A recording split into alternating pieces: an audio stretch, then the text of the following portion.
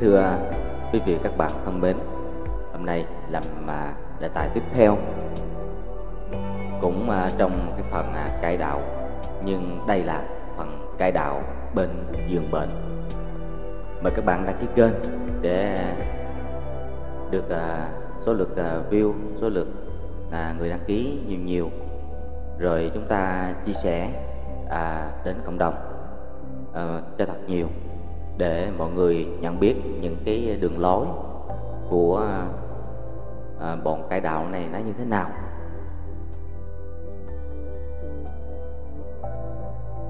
Cải đạo bên giường bệnh đọc bài Nguyễn Chí Thiện bị cướp sát trên sách hiếm.net và giao điểm online.com rồi sau đó tìm hiểu thêm sự việc trên DCV qua những bài của Nguyễn Đăng Khoa và Trần Phong Vũ. Tôi thấy đó là những chuyện nhỏ mà thôi. Những chuyện thuộc loại này thường xảy ra vì Cato Roma giáo thường cố gắng vơ người chết vào để đếm thêm số tiết đồ nhiều cho oai. Chúng ta còn nhớ trước đây vụ họa sĩ Trần Đại Lộc cũng vậy. Vừa lừa lúc không có người nhà ở bên quả đen và con chiên lãng vào, rỉ sát. Người hấp hối bằng cách ban cho ông ta hai tên thánh. Không biết có phải là thánh david, một kẻ cướp, một bạo chúa hoang dâm vô độ hay thánh ander của việt nam bị chặt đầu vì phản bội quốc gia? Khi hiện tượng Nguyễn Chí Thiện bắt đầu nổ ở hải ngoại với nhiều quảng cáo thì tôi có đọc bài thơ đồng lầy của thi sĩ ngục sĩ. Cứu nước này. Tôi chỉ nhớ có một câu trong bài thơ đó là nguyện chí thiện viết để chống cộng. Nay người dân luyến tiếc, thằng tây vô chừng. Và từ đó đến nay, tôi không đọc thêm bất cứ điều gì về nguyện chí thiện. Qua câu này nay các đồng chí chống cộng của ông ta linh, linh mục cao phương kỷ và tiến sĩ thần học trần phong vũ đến đưa hồn xác ông ta lên trời với thằng tây để thỏa lòng luyến tuyết của ông ta thì đâu có phải là chuyện gì lạ nhưng lạ ở chỗ là những gì mà linh mục cao phương kỷ làm cho nguyễn chí thiện như rửa tội sức giàu thánh, vân vân. Thì hoàn toàn vô giá trị, vì đó chỉ là những màn ma thuật bịp bợm mà giáo hội phỉ ra để tạo quyền lực cho các bề trên. Nắm phần hồn và phần xác của con chiên từ ngày sinh ra cho đến ngày chết. Và tự cho mình có đặc quyền lạm dụng phần xác của các nữ tu và con trẻ khi mà ở các nơi linh mục và giáo dân bỏ đạo hàng loạt đến độ giáo hoàng Benedict thứ 16 phải than phiền là, Âu Châu ngày nay sống như là không hề biết đến Chúa nữa. Mà cũng chẳng cần đến sự cứu rỗi của God, con Giêsu thì Cato Roma giáo ở Việt Nam thỉnh thoảng cướp được một xác chết hay phao tin đồn nhảm nhí có Nico cải đạo hay như Trần Phong Vũ, khoe người này, người nọ vào đạo. Nghĩa là đâm đầu vào cái thòng lòng của ca tô giáo thì hy vọng sẽ nói lên được điều gì. Ngoài điều làm cho người ngoại đạo càng ngày càng khinh ghét những thủ đoạn cai đạo hạ cấp như bằng đó. Và thấy rõ ca tô Roma giáo chỉ là một tà đạo đúng như các vua quan triều Nguyễn đã nhận định. Người Mỹ gọi cái mánh mô vô đạo đức cải đạo sát chết này là Deathbed Conversion. Nếu Trần Dân, Trần Phong Vũ, khoe Ethan hay Richard Dawkins, Christopher hitchens, Sam Harris và hàng trăm danh nhân trí thức khác trên thế giới đi rửa tội, đầu phục Thiên Chúa thì may ra còn có chút ảnh hưởng nhưng hiển nhiên, những người đó có đầu óc sáng suốt, thì thay vì đâm đầu vào đạo, lại hoặc bỏ đạo, hoặc viết sách vạch trần ra những mê tín trong đạo Vụ việc Nguyễn Chí Thiện bị cướp sát đã có nhiều dư luận phê bình qua những bài của Nguyễn Đăng Khoa và Nguyễn Đăng Lâm. Tôi thấy không cần gì phải bàn thêm vào nữa. Nhưng tôi muốn đăng lên bài nghiên cứu trước đây của tôi về cái gọi là bí tích trong Cato Roma giáo. Phần nghiên cứu này là nội dung chương 3 trong cuốn Đức tin công giáo, Giao điểm xuất bản từ 12 năm trước Năm 18 năm trước, có nghĩa là năm năm 2002 Có hiệu đính lại chút định có thể nhiều người chưa biết đến hoặc chưa đọc đến phần nghiên cứu này. Trong đó, tôi dùng toàn tài liệu của các bậc chăn chiên hoặc học giả Tây Phương. Không có một tài liệu nào của cộng sản hay của phật giáo. Vì lẽ rất giản dị là cộng sản cũng như phật giáo không hề quan tâm đến những chuyện mê tín trong ca tô giáo. Cho nên không có tài liệu nào về vấn nạn này hy vọng đọc xong về các bí tích, quý độc giả sẽ thấy rõ rằng những việc côn đồ cướp sát của ca tô giáo như linh mục cao phương kỷ làm lễ rửa tội và sức dầu thánh cho Nguyễn Chí Thiện thực ra là hoàn toàn vô giá trị. Bí tích Công giáo trong Cato Roma giáo mà chúng ta thường biết qua danh từ ngụy tạo, vô nghĩa là công giáo bí tích, hay nhiệm tích là những lễ tiết tín đồ bắt buộc phải tin hiệu năng bí mật của chúng theo những lời giáo hội dạy rằng. Dù giáo hội bí đặc, không làm sao giải thích được tại sao lại phải tin như vậy. Vì bản chất những bí tích này thuộc loại mê tín dị đoan như sẽ được chứng minh trong phần phân tích ở sau. John Walker cho rằng những lễ tiết về các bí tích này là những sự mê tín bạo tà Cato Roma giáo sử dụng ma quỷ sa tăng mà giáo hội dựng lên để hỗ trợ cho những mánh mưu bịp bợm vụ giáo hội. Ví dụ trong lễ rửa tội sau vài lời lẩm bẩm bằng tiếng latin là linh mục có thể truyền cho quỷ sa tăng. Ca tô giáo mê hoặc các tín đồ để tin rằng bất cứ ai mà chưa rửa tội thì cũng có sa tăng nằm vùng trong người. Ra khỏi một đứa trẻ sơ sinh, chưa biết gì, ngoài việc bú, ngủ ị tè, vân vân, để nhường chỗ cho chúa ba ngôi vào ngự trong người đứa nhỏ hoặc linh mục sờ tay vào tai đứa bé là có thể làm cho đứa bé mở tâm hồn ra để đón rước chúa. Một ví dụ khác là trong lễ ban thánh thể. Tín đồ phải tin rằng một cái bánh nhỏ là bằng bột, sau khi được linh mục hoa tay làm phép, lẩm bẩm vài câu thánh hóa, cái bánh đó biến thành thân thịt đích thực của Chúa Giêsu ăn vào sẽ được hiệp thông cùng Chúa. Bàn tay của giám mục linh mục dù nhơ bẩn, đến đâu sờ hay mò mẫm vào cái gì kèm theo vài tiếng Latin là cái đó đã được thánh hóa.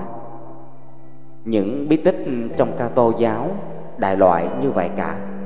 Chẳng qua chỉ là những trò ma thuật bịp bợm lừa dối, khai thác sự đần độn của những người trí tuệ yếu kém trong khi giáo hội vẫn dạy tín đồ, và tín đồ cũng tin như vậy, rằng ca tô giáo là một tôn giáo thiên khải.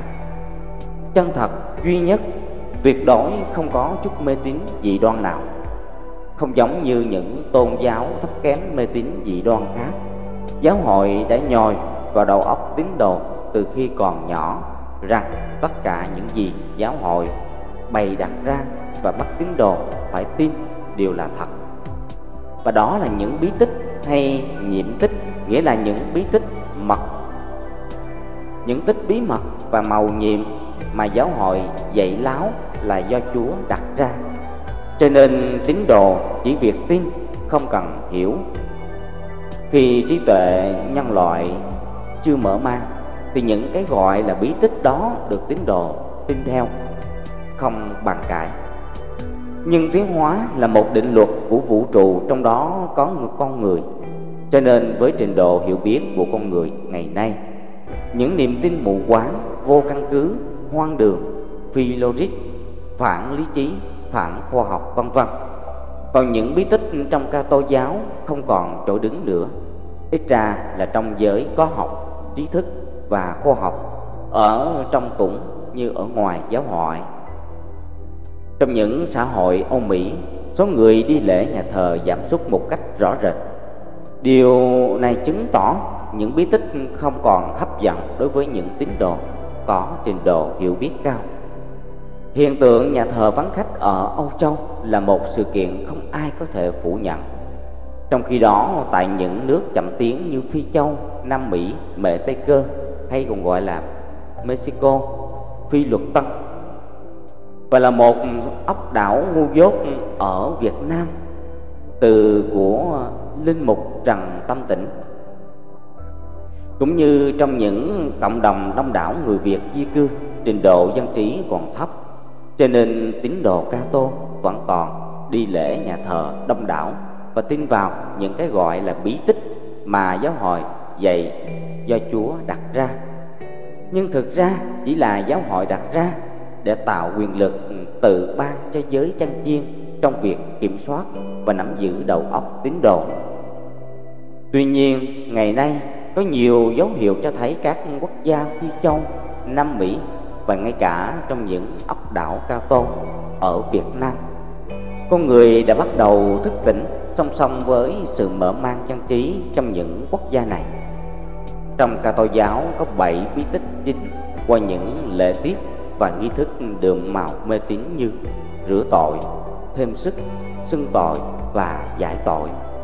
Ban thánh thể truyền thức linh mục hôn phối và sức dầu, bí tích truyền chức linh mục đột nhiên biến một người học nghề linh mục trong vài năm thành một người có nghề có quyền thay chúa. Tự nhận là chúa thứ hai để thực hiện những phép lạ trong sáu bí tích còn lại. Với quyền năng tự tạo này của giới chăn chiên như linh mục, giám mục, vân vân, giáo hội có thể dùng sáu bí tích kia để ngự trị, kiểm soát và mê hoặc tín đồ từ ngày sinh, bắt đầu bằng bí tích rửa tội, cho đến ngày chết. Bằng bí tích sức giàu, dù rằng trong số các chúa thứ hai này không thiếu gì các vị đi hiếp dâm chị em nữ tu của mình trên 27 quốc gia và cưỡng dâm cả ngàn trẻ em ngây thơ vô tội đã được họ nhét Chúa vào trong đầu. Sau đây tôi sẽ đi vào phần phân tích những bí tích trên dựa trên tài liệu của những giới chức trong ca tô giáo như giám mục, linh mục vân vân.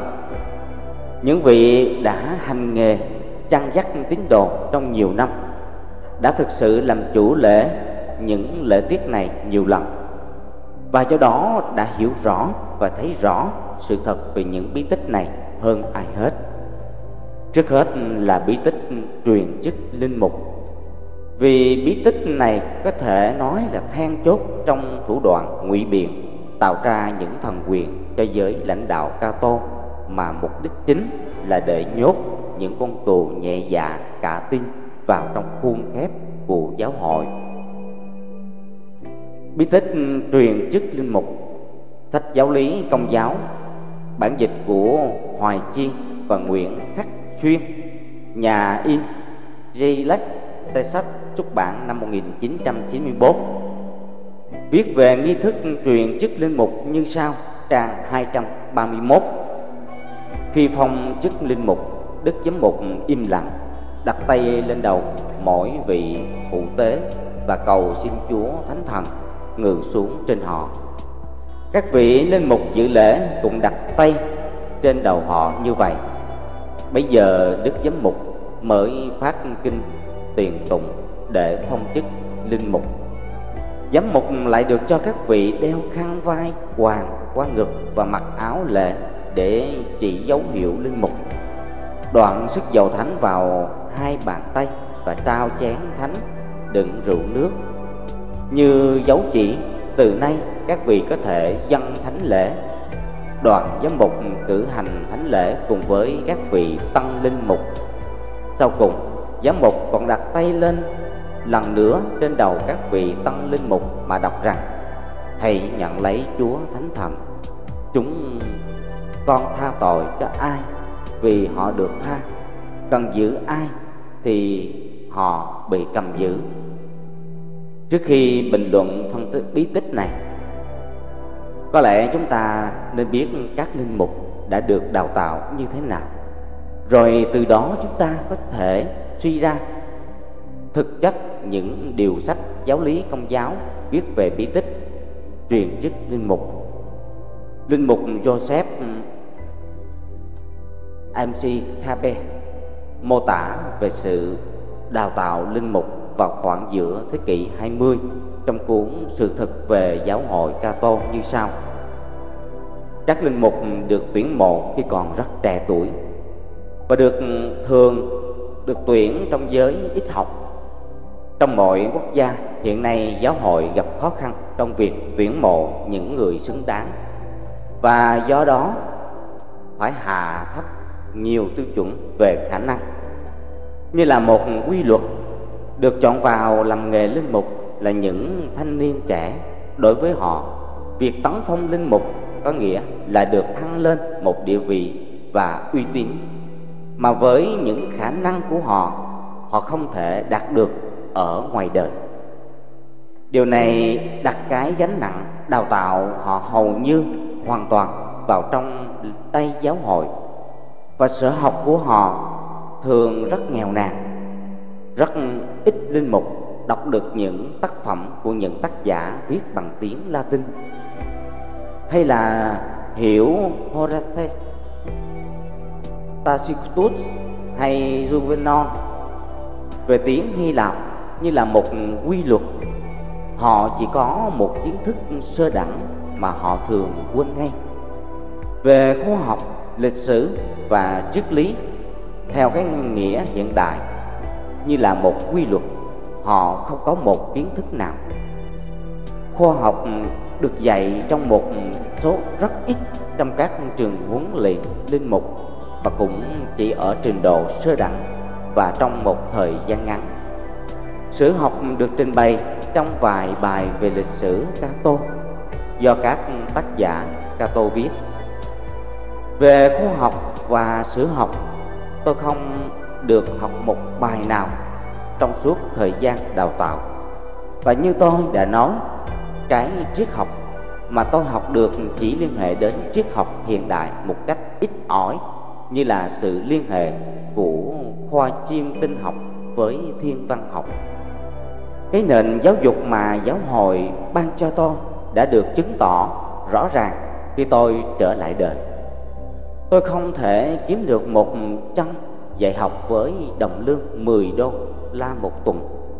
Ông Forbes bạn tôi, sau khi khảo sát kiến thức của tôi, rất tiếc mà bảo tôi rằng sơ học của tôi thật là vô dụng. Ba linh mục đồng nghiệp của tôi lặng lẽ bỏ giáo hội ra kiếm sống ở ngoài đời. Cả ba đều thất bại và phải quay trở lại giáo hội giáo hội chắc chắn là có nhiều linh mục như vậy. Linh mục James Kavanagh trong cuốn một linh mục hiện đại nhận xét về giáo hội lỗi thời của ông có kể về sự huấn luyện các linh mục như sau. James Kavanagh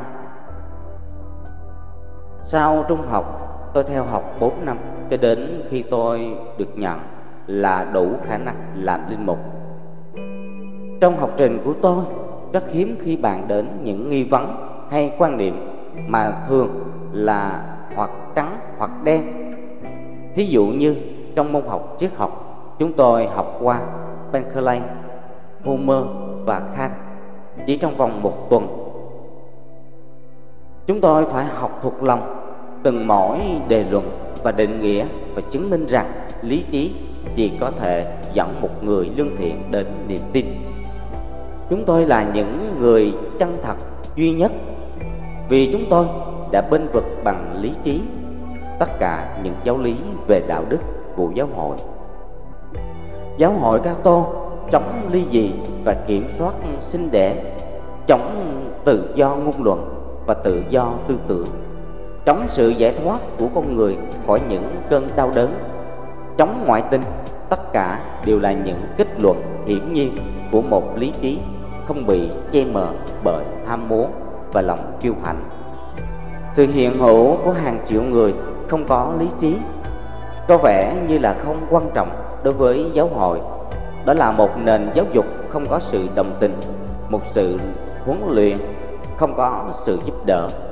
Tôi nghe những gì họ muốn tôi nghe, và họ nói những gì ban giám đốc mong muốn tôi nói như vậy người nào chống đối thì bạn bị gạt ra ngoài. Chỉ có những người phục tùng, luật lệ hay những kẻ ngây thơ, tiêu cực mới tồn tại. Sáng kiến không được khuyến khích trừ phi. Đi theo đường lối đã được chấp nhận. Tà đạo là danh từ để chấm dứt mọi luận cứ. Và giáo hội dạy rằng là nghị trình nhỏ hẹp của mọi tranh luận, tôi không được giáo dục mà được nặng thành. Tôi không được khuyến khích, suy nghĩ mà chỉ được huấn luyện để binh vực giáo hội. Người ta muốn nói tôi suy tư mà chỉ muốn tôi học thuộc lòng. Chúa ơi, tôi đã trở thành cái gì?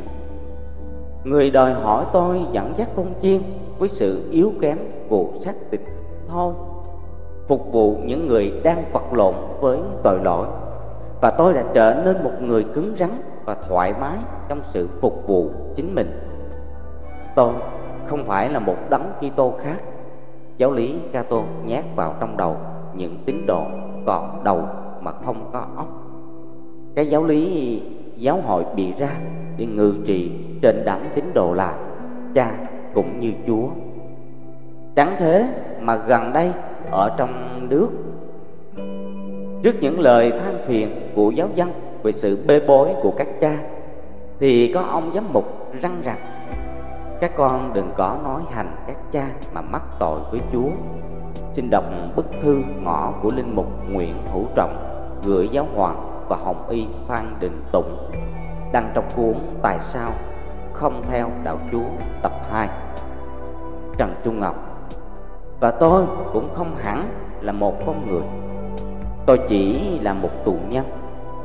Một mẫu mực được hỗn tổng hợp một kẻ binh vực cho một quá khứ mệt mỏi. Chúa ơi, nếu tôi sẽ trở thành một linh mục, thì trước hết hãy để cho tôi làm một con người đã. Đừng bắt tôi phải trốn đằng sau cái cổ áo thầy tu, chức tước cái bề ngoài giả dối của tôi. Đừng bắt tôi phải đưa ra những câu trả lời mà chính tôi không còn tin. Họ bắt tôi phải đúc nặng giáo dân thành những người không có nhân tính và những người đần độn chỉ biết tuân phục. Hãy để cho họ biết đến những nghi vấn do chính miệng tôi nói ra. Và hãy để cho họ nói ra những nghi vấn của họ một cách thật thà. Đừng để cho tôi trói buộc họ vào giáo luật và địa ngục hoặc làm cho họ sợ hãi với những câu chuyện về chết bất ngờ.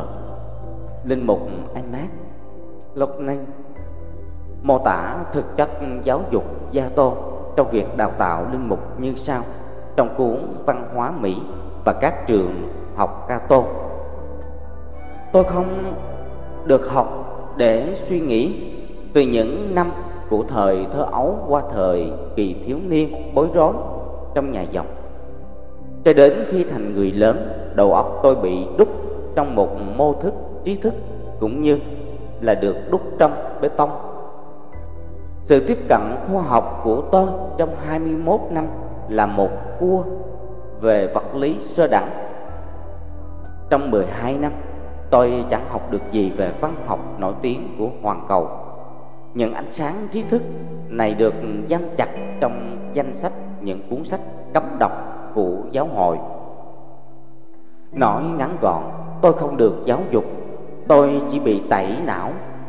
Tôi đã đạt đến trình độ khô cứng của sự hiểu biết, trí thức, soạn xỉn tôi đã trở nên một người máy, một linh mục với những lễ nghi thiêng liêng không rõ ràng, vô nghĩa ở sự hiệu quả của chúng, cũng như là những bài ca của các thầy pháp Haiti tôi là một kỹ thuật viên của giáo hội được huấn luyện để đúc nặng những bộ óc trẻ dễ uống nắng kiến thức của các giám mục, linh mục cũng được linh mục trương bá cần nhận định như sau trong cuốn nguyễn trường tộ, con người và di thảo. Về tay học thì ông nguyễn trường tộ, hòa có được các linh mục thừa sai và đặc biệt giám mục Gautier dạy cho tiếng Pháp và truyền đạt một số kiến thức khoa học chỉ để có thể là rất phổ thông. Vì các thừa sai thuộc hội truyền giáo nước ngoài, tuyệt đại bộ phận chỉ học xong chương trình phổ thông.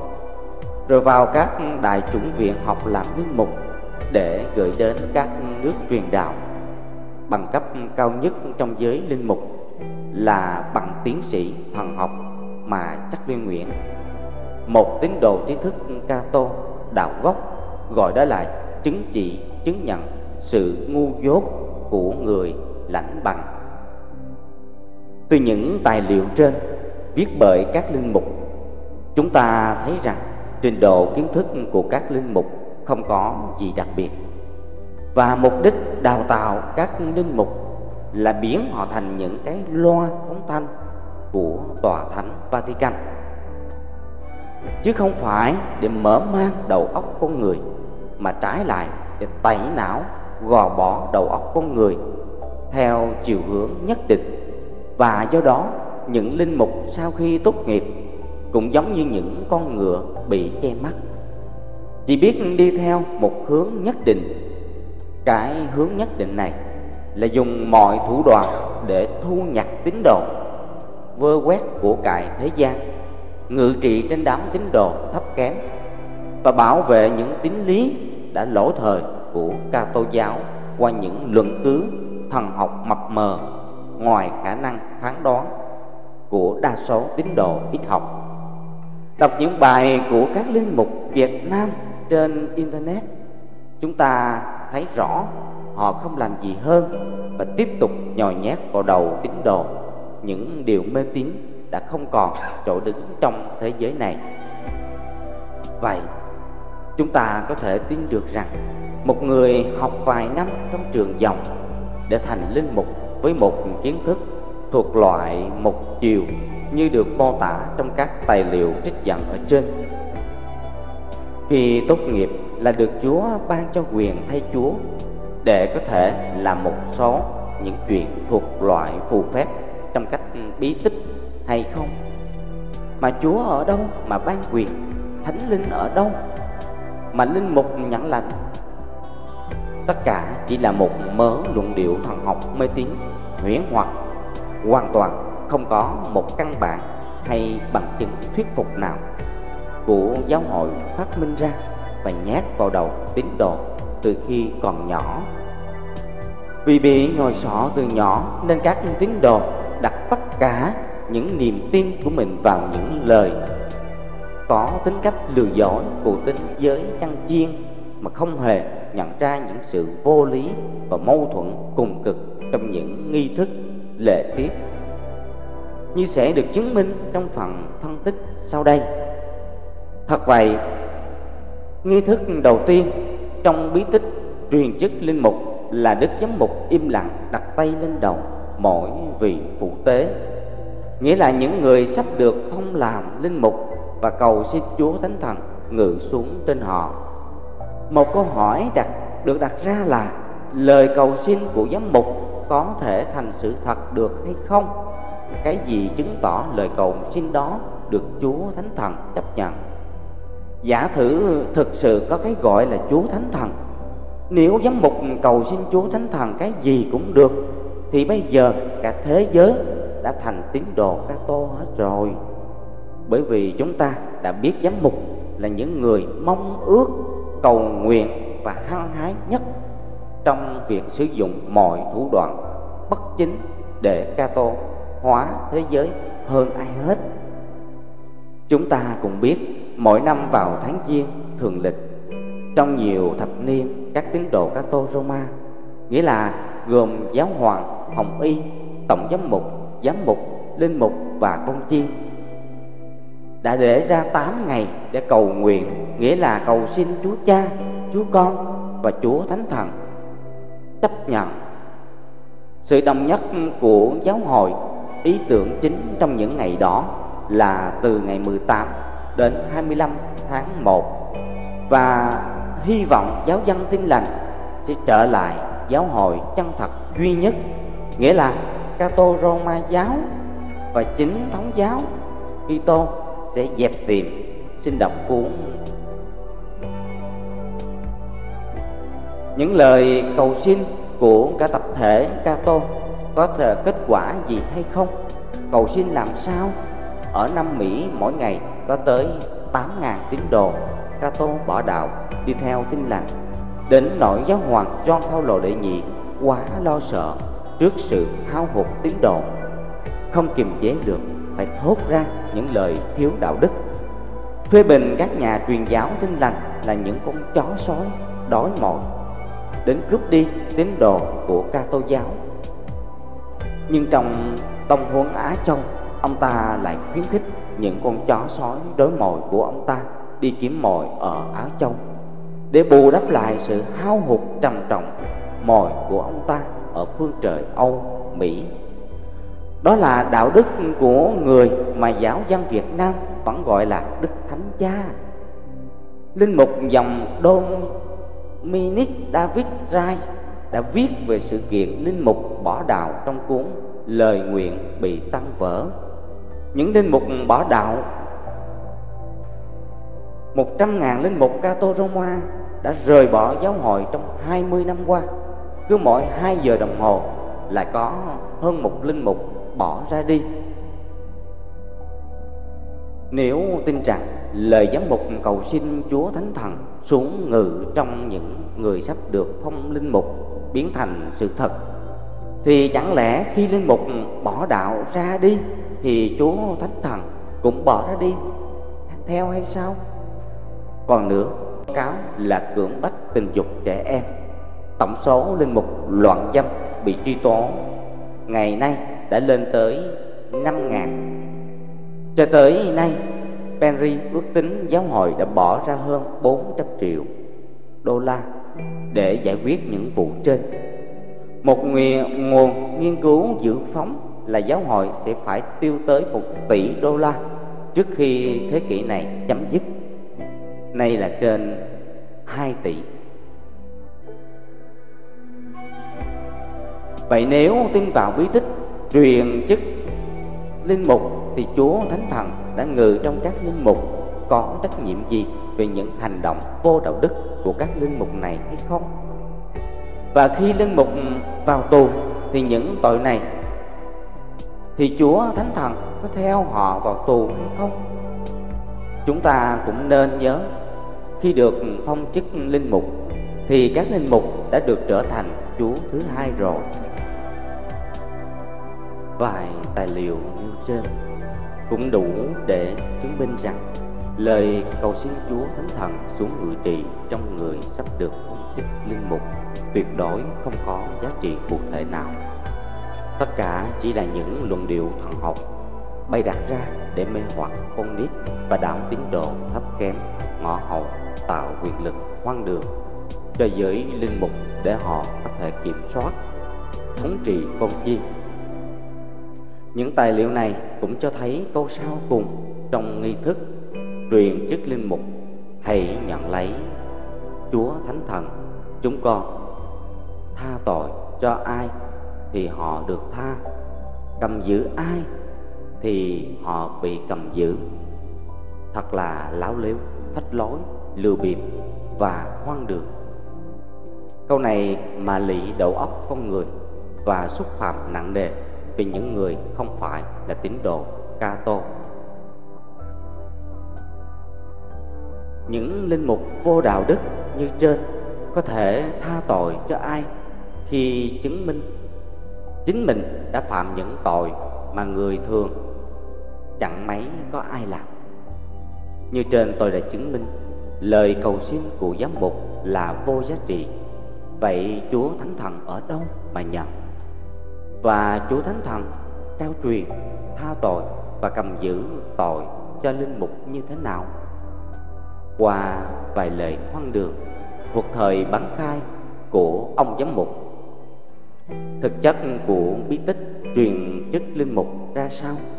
Không ai biết rõ hơn linh mục joseph mcharper một người đã hành lành nghề linh mục hơn 20 năm. Khi ông viết bí tích lệ diễn nhiên chỉ là một phần của hệ thống nâng cao giới linh mục.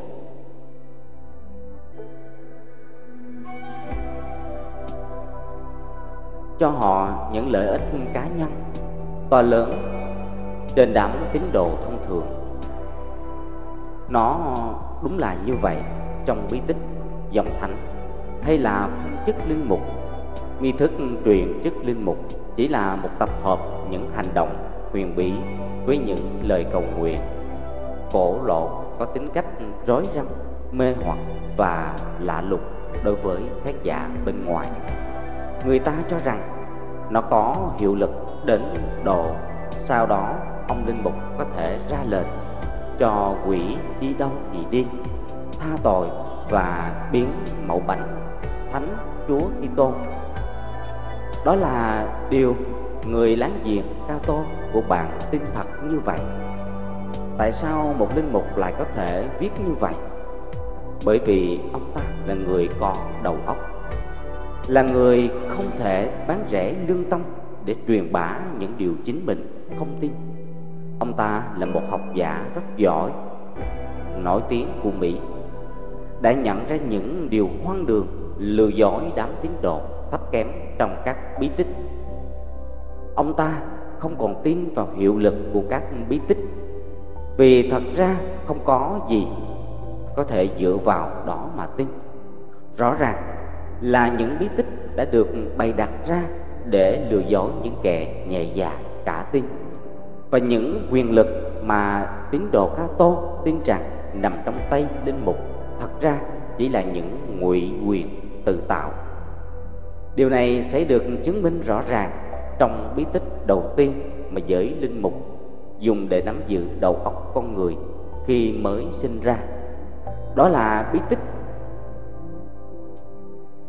rửa tội mà tôi sẽ phân tích sau đây. Chúng ta nên để ý là ngày nay, giới trí thức coi sự rửa tội cho con nít là một tội ác đối với nhân loại và có người còn đòi truy tố giáo hội về tội ác này. Bí tích rửa tội.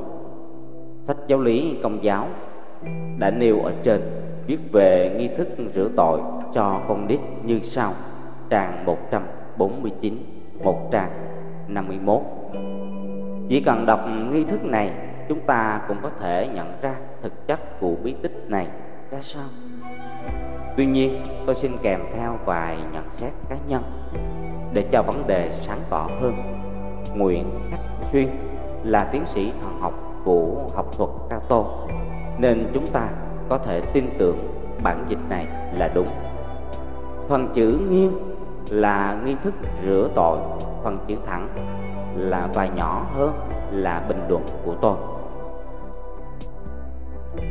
À nghi thức ngoài cửa nhà thờ. Những câu hỏi đầu tiên, linh mục, con tên gì? Cha, người đỡ đầu. Xưng tên thánh đứa trẻ. Linh mục, con xin cùng giáo hội chúa. Con xin đức tin. Đứa trẻ sơ sinh chưa biết nói, trí tuệ chưa phát triển, chưa có khả năng hiểu biết được cha mẹ hay người đỡ đầu, thay mặt nó thường bắt nó phải xin đức tin. Theo định nghĩa của Hacking thì faith hay đức tin là một kiểu tin phi logic vào sự xảy ra của những gì không chắc có thực theo định nghĩa trong từ điển thì faith hay đức tin là sự tin chắc vào một cái gì đó mà không chứng minh được cái đó có thật. Theo Joseph Daledin trong cuốn The Final Superstition thì đức tin là con đường đi tới mê tín.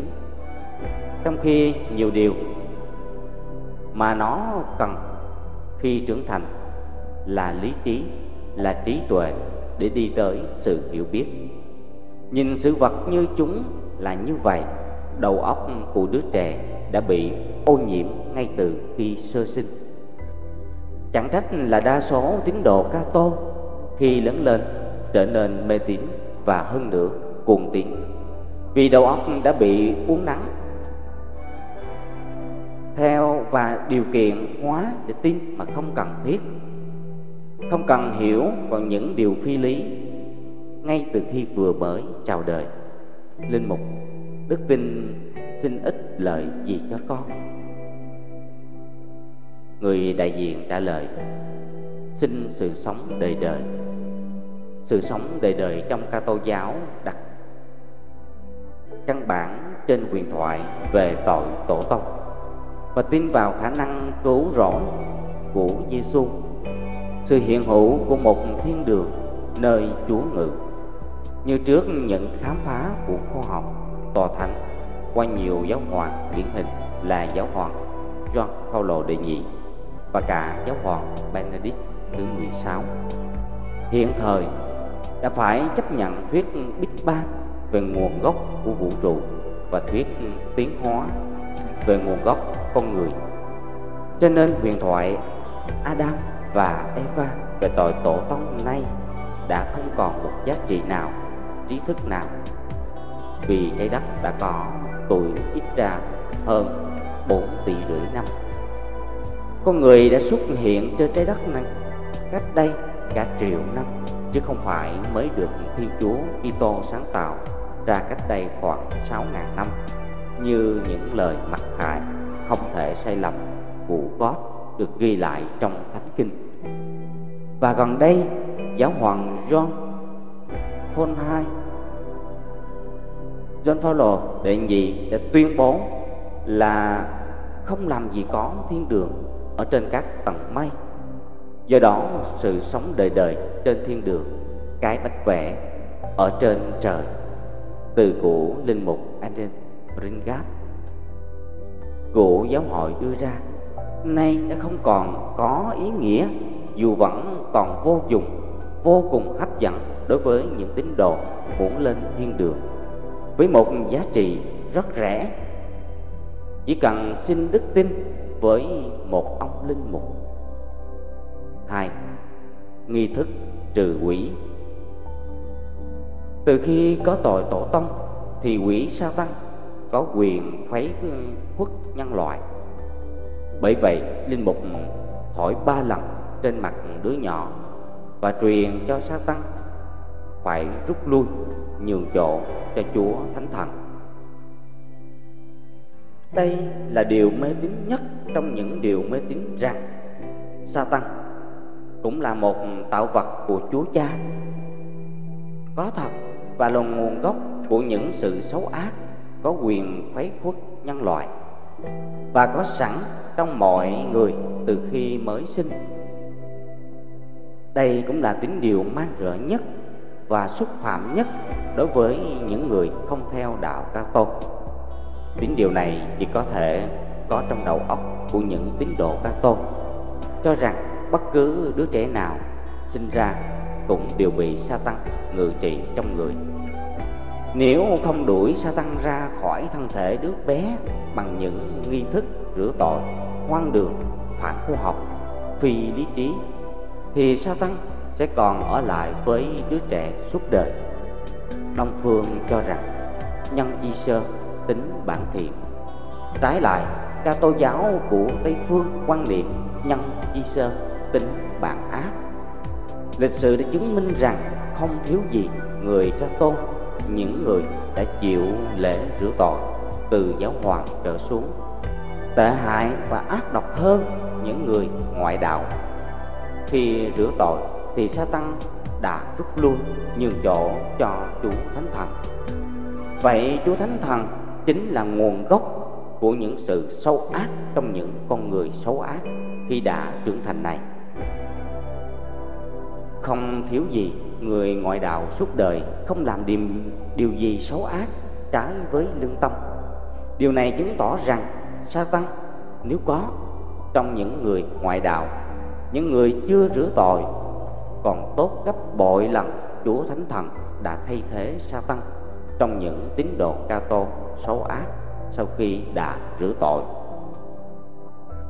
nhưng điều đáng nói nhất ở đây là trong thánh kinh đã viết rõ là Chúa Giêsu đã chiến thắng sa tăng Vậy sa tăng còn ở đâu nữa mà đuổi? Thật vậy, Colossian Thượng đế đã tước hết uy quyền thống trị của Satan, công khai phô bày cho mọi người biết Chúa cứu thế đã chiến thắng nó tại cây thập tự và John 12 2.31 đã đến lúc thế gian bị xét xử và sa tăng kẻ thống trị thế gian bị trục xuất. Vậy chúa đã chiến thắng sa tăng rồi giáo hội lại phục hồi quyền lực của nó cho nó cái quyền khuấy khuất thiên hạ, nhét nó vào trong những đứa trẻ chưa biết chưa biết gì. Và dạy rằng, linh mục có khả năng đuổi sa tăng ra khỏi đứa bé trong cái bí tích gọi là rửa tội. Thật là một sự lừa bịp trắng trợn đối với giới hiểu biết, nhưng lại rất hữu hiệu đối với những người không có đầu óc suy nghĩ, không đọc thánh kinh và không hề thấy sự mâu thuẫn trong những lời giải thích quanh quẩn của giáo hội về vai trò của sa tăng ba. Ghi dấu thánh giá. Linh mục vẽ linh mục vẽ dấu thánh giá trên trán và ngực đứa nhỏ. Để làm gì và có tác dụng gì? Không thấy giải thích, nhưng thánh giá là cái gì? Đó chỉ là biểu tượng của một dụng cụ hành hình giả mang nhất của người La Mã. Khi xưa để trừng phạt những kẻ phản bội trong xã hội như giết người, ăn cướp, ăn trộm. Không phải chỉ có mình Giêsu bị đóng đinh trên cây thập ác. Giêsu bị đóng đinh cũng cùng lượt với hai tên trộm. Trước và sau Giêsu đã có ngàn người bị đóng đinh. Vậy cái cây thập ác nào là thánh giá của Kitô giáo 4. nghi thức đặt tay, linh mục giơ bàn tay phủ lên đầu đứa nhỏ, chỉ dấu Chúa Kitô chinh phục nó Chúa Kitô ở trong bàn tay của linh mục sao? Cùng một lúc ở trên thế gian này, có biết bao nhiêu đứa trẻ đang bị cưỡng bách rửa tội. Chúa quyền phép vô cùng nhưng tề thiên đại thánh nên có thể dùng lúc cùng lúc nằm trong bàn tay của vô số linh mục trên khắp thế giới để chinh phục những đứa trẻ sơ sinh chưa biết gì, chưa hiểu gì. Mà chinh phục đứa trẻ sơ sinh để làm gì? Để sau này lớn lên làm tôi tớ hàng mọn của chúa như linh mục trần lục. Tự nhận và được khắc trên tấm mộ bia của ông. Các bậc cha mẹ mang con đi rửa tội, không muốn cho con mình làm những người tự do, có trí tuệ. Chỉ muốn con mình được một người do thái đã chết cách đây gần 2.000 năm, chinh phục, làm tôi tớ hèn mọn. Thật là tội nghiệp cho những đứa trẻ này. Năm, ban muối. Linh mục ban muối cho đứa trẻ muốn giữ cho khỏi hư thối, chỉ bằng đức tin giữ gìn khỏi sự tội. Đức tin có thực sự giữ gìn khỏi sự tội hay không? Tội đây không phải là tội tổ tông, một huyền thoại của do do thái cổ xưa. Này đã không còn có giá trị cho nên lệ tiết băng muối. Có ý giữ cho đứa trẻ khỏi phạm những tội thế gian, tội của con người trong đời sống hàng ngày nhưng thực tế cho thấy đức tin đâu có giữ gìn tín đồ khỏi tội lỗi đâu. Nhìn vào đạo đức của một số không nhỏ giáo hoàng và các bề trên, từ hồng y xuống tới các linh mục và công chiên chúng ta thấy đức tin ca tô giáo còn làm họ còn phạm tội nhiều hơn là những người ngoại đạo. Lịch sử thế giới và lịch sử việt nam đã chứng tỏ như vậy. 6. Lại trừ quỷ. Linh mục lại truyền cho sát tăng lần nữa, Phải ra khỏi đứa nhỏ. Ngài vẽ dấu thách giá trên trán, Bởi vì dấu đó là ấn tích của Chúa Kitô. Đoạn truyền cho sát tăng không bao giờ được làm mất dấu ấn tích đó. Trong nghi thức trừ quỷ lần đầu, Linh mục đã ra lệnh cho sa tăng phải rút lui nhường chỗ cho Chúa Thánh Thần. Một là sa tăng coi thường lời của linh mục nó chẳng có uy lực gì. Hai là Chúa Thánh Thần đã biến thành sa tăng trong thân thể đứa trẻ, nên linh mục lại phải đuổi sa tăng ra khỏi đứa trẻ lần nữa. Điều thứ hai, có thể đúng hơn vì khi lớn lên, đứa trẻ vẫn có thể làm ác dù vậy, mọi hành động, suy nghĩ của đứa trẻ sau này đều được chúa thánh thần chỉ đạo. Khó mà có thể đổ tội cho sa tăng được nữa. Mặt khác, đứa trẻ chưa biết nghe, linh mục nói gì nó có hiểu gì đâu.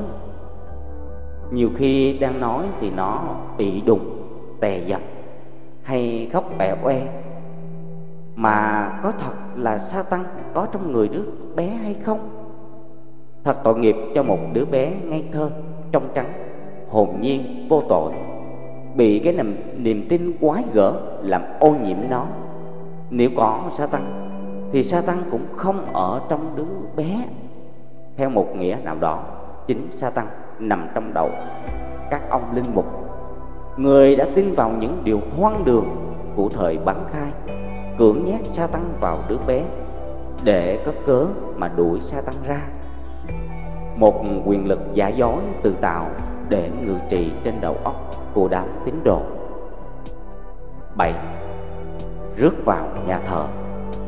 Linh mục đặt giải khăn quàng của Ngài trên mình đứa nhỏ, Rồi đưa vào nhà thờ Chúa, Vừa đi vừa đọc, Con hãy vào nhà Chúa để thông phần sự sống đời đời cùng Chúa Kitô. Lại sống đời đời cái bánh vẽ trên trời. Kể ra cũng hấp dẫn. Nhà thờ được gọi là nhà Chúa nhưng trên thế gian đã có biết bao nhà thờ kể cả những nhà thờ danh tiếng ở bên Ý bị bão lụt, xét đánh, động đất vân vân hủy hoại. Vậy có thật nhà thờ là nhà Chúa hay không? Hơn nữa, ngoài nhà thờ thì không phải là nhà Chúa. Tuy rằng Chúa sáng tạo ra tất cả. Vậy nhà Chúa trên thế giới chiếm một tỷ lệ bao nhiêu trên toàn thể diện tích của trái đất?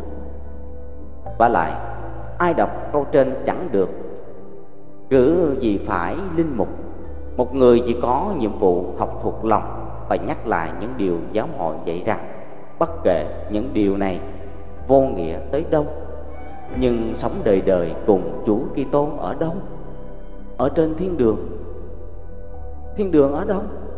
Giáo hoàng São Paulo đệ nhị đã nói không có ở trên các tầng mây, ở trong tâm con người.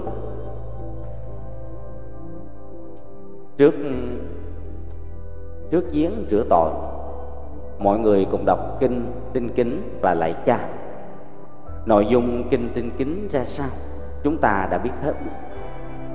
Mọi người lạy cha nào, cha trên trời chỉ có một con là Giêsu còn cha trên trời đứng trước mặt mình chính là một danh xưng tím vị của các linh mục.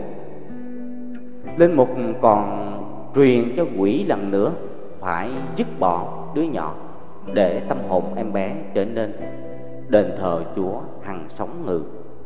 Nghĩa là quỷ vẫn ở trong đứa nhỏ, nhưng phải hai lần linh mục truyền. Nó phải rút ra nhường chỗ cho Chúa Thánh Thần, rồi cứ mà. Hai lần trước thất bại. Có gì bảo đảm là lần này ông thành công? Linh mục vừa sờ vào tai. Lỗ tai của đứa nhỏ vừa đọc Epheta nghĩa là hãy mở ra. Có ý chỉ, hãy mở tông. Hồn trước đón Chúa. Ông linh mục có vừa vào, vừa sờ vào tai, lỗ tai của đứa nhỏ, vừa đọc Epheta thì đứa nhỏ cũng chẳng hiểu Epheta là cái quái gì. Bố nó cũng chẳng hiểu nữa là nó vừa mới sinh ra đời, chưa hề học cái ngôn ngữ chết. Là tiếng Latin hoặc tiếng Do Thái. Linh mục Joseph Hart cho biết ông thường đọc Ephata bằng tiếng Do Thái, in Hebrew dù ông có đọc bằng tiếng Việt, nó cũng chẳng hiểu. Vậy hành động của ông có tác dụng gì đối với nó? Mà thực ra, ông nhét Chúa vào tâm hồn trong trắng của nó, chứ nó đâu có tự nguyện mở tâm hồn để đón rước Chúa đâu. Linh Mục hỏi, Con có bỏ sa tăng không? Có bỏ mọi việc dối trá nó làm không? Người đỡ đầu trả lời, Con xin bỏ. Ông Linh Mục ơi, Ông đã truyền cho sa tăng phải bỏ đứa trẻ Đi sang phía tin lành hay đi đâu đó. Xin đọc tài liệu của Linh Mục Joseph Hát ở phần sau. Nhường chỗ cho Chúa Thánh Thần mấy lần rồi. Sa tăng ở đâu nữa? Mà ông phải hỏi đứa con nít mới còn khóc oe oe, chưa biết nói, chưa hiểu gì. Một câu hỏi ngớ ngẩn như vậy mà bố nó trả lời chứ đâu phải là nó trả lời. Nhỡ nó không muốn bỏ sa tăng thì ông làm gì nó? Thực tế ở ngoài đời cho thấy, từ giáo hoàng trở xuống cho đến tín đồ cùng đinh, trong số này có thể có cả ông nữa. Nhưng thiếu gì? Người khi lớn lên không muốn bỏ sa tăng qua những hành động phi luân lý, phi đạo đức của họ. Linh mục lấy dầu thánh sức lên ngực và vai đứa nhỏ, chỉ rằng nó sẽ có sức mạnh chống nổi sa tăng. Thật hoang đường, chính ông còn không đủ sức chống sa tăng, nằm đầy trong giáo hội, nhất là trong Vatican. Làm sao mà chút dầu thánh, cái dầu mà chính ông đã sức khi nhỏ, có tác dụng chống sa tăng. Ông có biết trong giáo hội của ông có bao nhiêu giáo hoàng hồng y, tổng giám mục giám mục, linh mục phạm tội giết người, nghiện rượu, đàn điểm trai gái, cưỡng bách tình dục trẻ em, đồng giống luyến ái, bị bệnh ác, vân vân không? Mặt khác, ông có biết rằng việc làm của ông vô giá trị hay không? Vì thánh kinh đã viết rõ dầu thánh chỉ để sức cho người do thái không được sức cho người ngoài. Sức cho người ngoài là vô hiệu lực. Edo, Exodus 30 22 đến 33 Thỉnh ông hãy đọc lại Thánh Kinh đi. Ở diễn rửa tội Ở diễn rửa tội lên mục còn bảo người đỡ đầu Tuyên xưng đức tin lần nữa. Linh mục đổ nước ba lần. Thành hình thánh giá, Trên đầu kẻ chịu phép rửa tội. Vừa đổ nước, vừa đọc lời rửa tội. Linh mục lại sức dầu thánh trên đỉnh đầu, đứa nhỏ, Và trở nên giáo hữu được dự phận con cái trong gia đình Chúa Kitô. Linh mục áo trắng, trao áo trắng cho đứa nhỏ mà nói rằng con hãy nhận lấy áo trắng này. Ước gì con sẽ giữ mãi cho tin truyền tới ngày ra trước tòa Chúa Giêsu Kitô. Chúa chúng ta mà lĩnh sự sống đời đời. Thánh Kinh viết rằng, Chúa sẽ trở lại trần để lập tòa phán xét nhân loại ngay khi vài hôm, vài môn đồ của ông còn sống. Sau đó thì Chúa biệt tâm, đến nay đã 2.000 năm. Người ta đã tuyên đoán ngày Chúa phán xét bao nhiêu lần rồi, Và lần nào cũng sai. Lời hứa lĩnh đời sống đời đời. Trước tòa, Chúa rút cục chỉ là những lời hứa hẹn vô trách nhiệm của giới chăn chiên, lừa dối những tín đồ đầu óc thấp kém cả tin. Linh mục lại trao cho đứa nhỏ cây nến thắp sáng mà bảo, con hãy nhận lấy ngọn nến sáng này hãy giữ luật chúa bảo vệ ân sủng đã nhận khi chịu phép rửa tội. Như vậy tới ngày chúa đến ban việc cưới đời đời, con sẽ có thể cùng các thánh ra đoàn rước người. Đi vào triều đình thiên quốc hưởng phúc đời đời. Đoạn linh mục chúc lành, bình an cho đứa nhỏ. Bài văn của nghi thức rửa tội đã chứng minh rằng bí tích, rửa tội, vô giá trị vì không có gì chứng tỏ là cái tội tổ tông, hoang đường. Nếu có đã được rửa sạch quyền lực của linh mục, chỉ là giả tạo để lừa dối tín đồ vì không có gì bảo đảm là sa tăng, là rút lui, nhường chỗ cho chúa thánh thần. Trừ phi chúng ta hiểu rằng sa tăng và chúa thánh thần tuy hai là, mà là một. Theo như tinh thần văn bản của những thực tế ở ngoài đời thật vậy sách giáo lý công giáo viết trang 153 khi chịu phép rửa tội rồi, ta được chúa cha, chúa con và chúa thánh thần tới ngự trị trong tâm hồn. Người giáo hữu trở nên đền thờ chúa ngự. Như vậy thì ai chịu trách nhiệm về những hành động xấu xa, ác độc, vô luân, vân vân của một giáo hoàng, giám mục, linh mục và vô số con chiên? Sau khi tất cả những người này đã rửa tội và được chúa cha, chúa con và chúa thánh thần ngự trị trong tâm hồn, đổ tội cho sa tăng chăng? Nhưng như vậy thì rõ ràng là cả ba, chúa cha, chúa con và chúa thánh thần hợp lại cũng không chống nổi sa tăng vậy bày đặt ra chuyện toàn năng với cứu rỗi, với ban đời sống đời đời, vân vân để làm gì? Có phải chỉ để lừa dối những kẻ nhẹ dạ cả tin, không đầu óc suy luận hay không? Sau đây chúng ta hãy đọc linh mục Joseph khác viết về rửa tội. Linh mục đã làm lễ này cho tín đồ trong 25 năm. Sau cùng, ông đã viết sách trình bày những điều ông nhận xét về các tô giáo Roma. Ông viết rất nhiều. Về đủ mọi khía cạnh của ca tô giáo, ngoài ra, ông còn viết một bộ sử thế giới. Bộ sử này đã được nhiều đại học mỹ dùng làm sách giáo khoa trong nhiều năm. Đoạn sau đây là trích từ cuốn sự thực về giáo hội ca tôn bí tích rửa tội là để cho các trẻ sơ sinh vì một lý do rất nghiêm trọng. Mọi hậu vệ của adam đều mang cái tội của adam và đều phải chịu trừng phạt. Mới đầu người ta tin tưởng rằng đàn ông đàn bà, trẻ con nào không được nước rửa, tội sửa sạch cái tội tổ tông đó, thì sẽ bị đầy đọa trong hỏa ngục vĩnh viễn. Niềm tin này thật là quá đáng, ngay cả đối với con người trong thời trung cổ. Và các nhà thần học bàn sửa đổi, ai không rửa tội thì không được lên thiên đường. Giáo hội bám chặt vào điều này, nhưng những đứa trẻ ngây thơ vô tội không phải xuống hỏa ngục. Chúng bị đẩy vào một nơi u ám, cách ừ, cách tay hiện đại đối với đôi nói dài với hỏa ngục.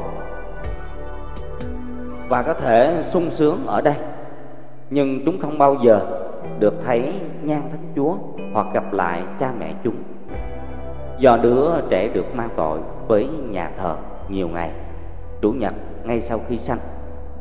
Nếu nó bị cảm lạnh và chết đi, thì cha mẹ không được than khóc. Nó đã đi thẳng lên thiên đường, nơi tuyệt đối không có tì vết nào.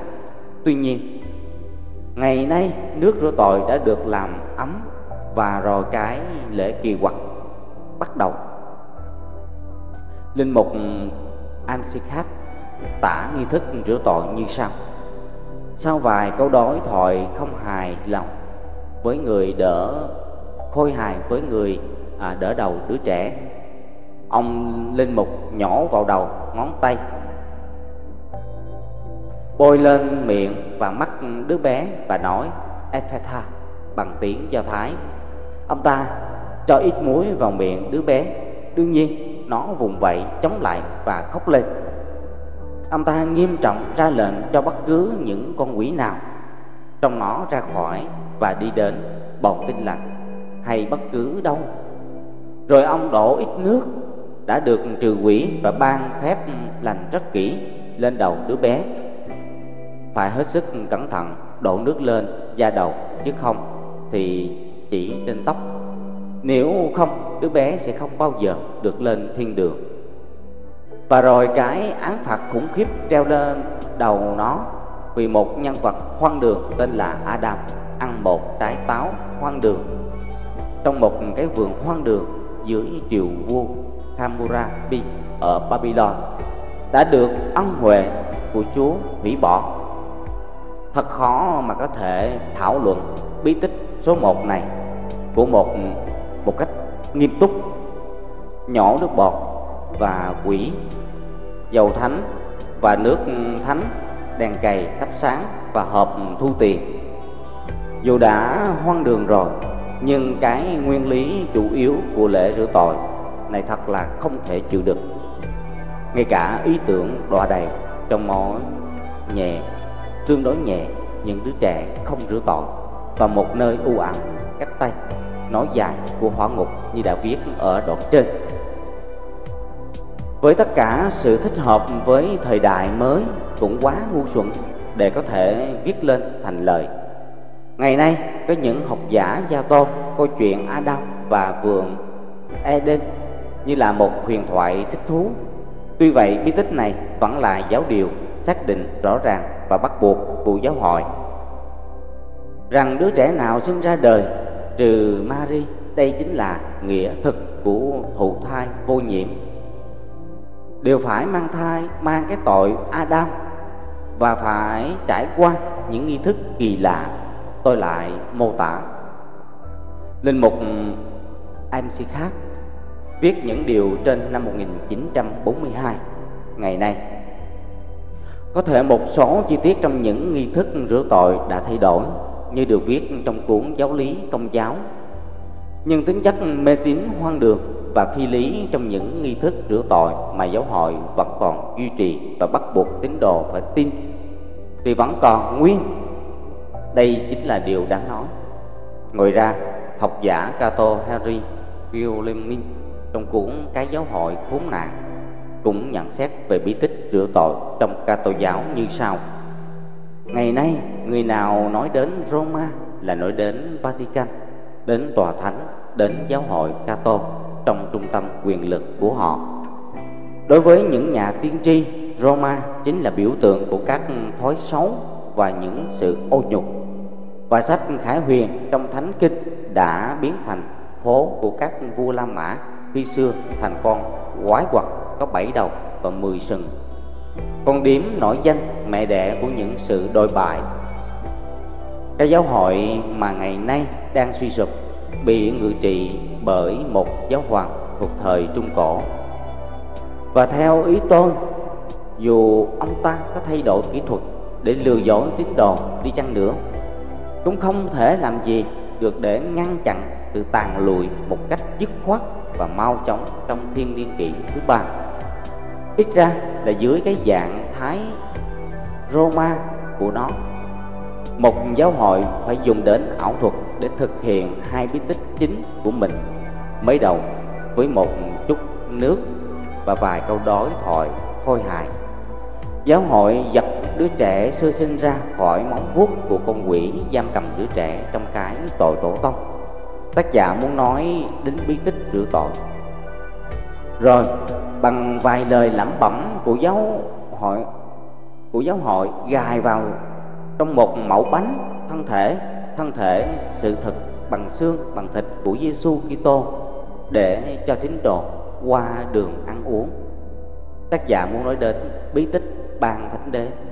Trần Trung Ngọc trước những tài liệu trên của linh mục MC Khắp và của học giả Cato Guillemin và trước văn bản mô tả nghi thức rửa tội trong sách giáo lý công giáo của Việt Nam mà tôi vừa bình luận ở trên. Các tín đồ Cato Việt Nam ngày nay đứng trước một vấn đề nan giải.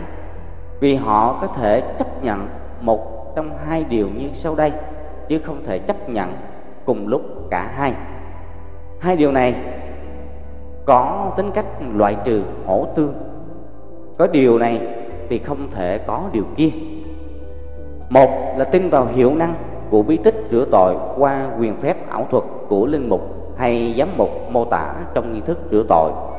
Vậy thì tất cả những tội lỗi của ca tô giáo đối với nhân loại là tội của chúa ba ngôi vì sao khi rửa tội, chúa cha, chúa con và chúa thánh thần đã thay sa tăng tới ngự trị trong tâm hồn của các tín hữu ca tô người giáo hộ đã trở nên đền thờ nơi chúa ngự.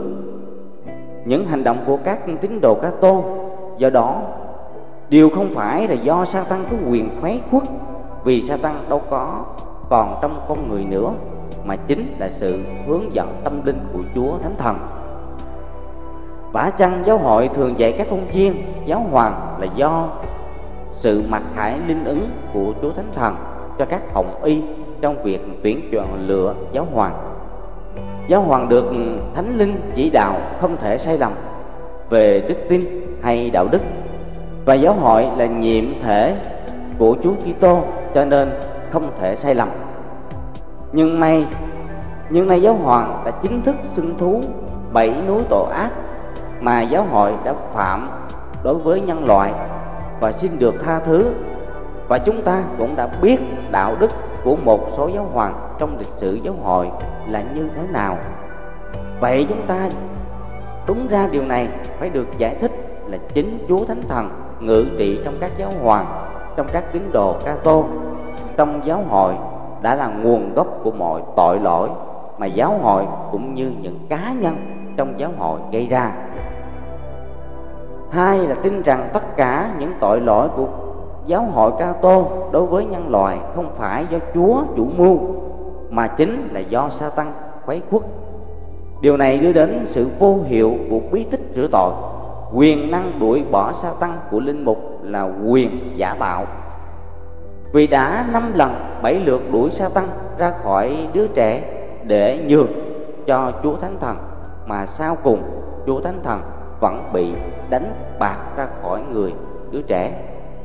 Nói tóm lại, dù trong lễ rửa tội, linh mục đã làm đủ mọi cách sử dụng mọi quyền phép của chúa ban cho. Theo như những lời của giáo hội dạy rằng, mà thực chất là để ngự trị đám tín đồ thấp kém, tội tổ tông vẫn không được, không rửa được. Chúa vẫn thua xa thua sa tăng.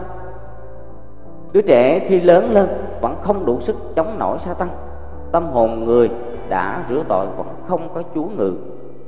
Những ân sủng mà linh mục hay chúa ban cho, nhiều người chịu phép rửa tội. Chỉ là những bánh vẽ ở trên trời và lẽ dĩ nhiên chẳng làm gì có sự sống đời đời cứu cách chung của các bí tích rửa tội như các ông linh mục thường hứa hẹn khi làm lễ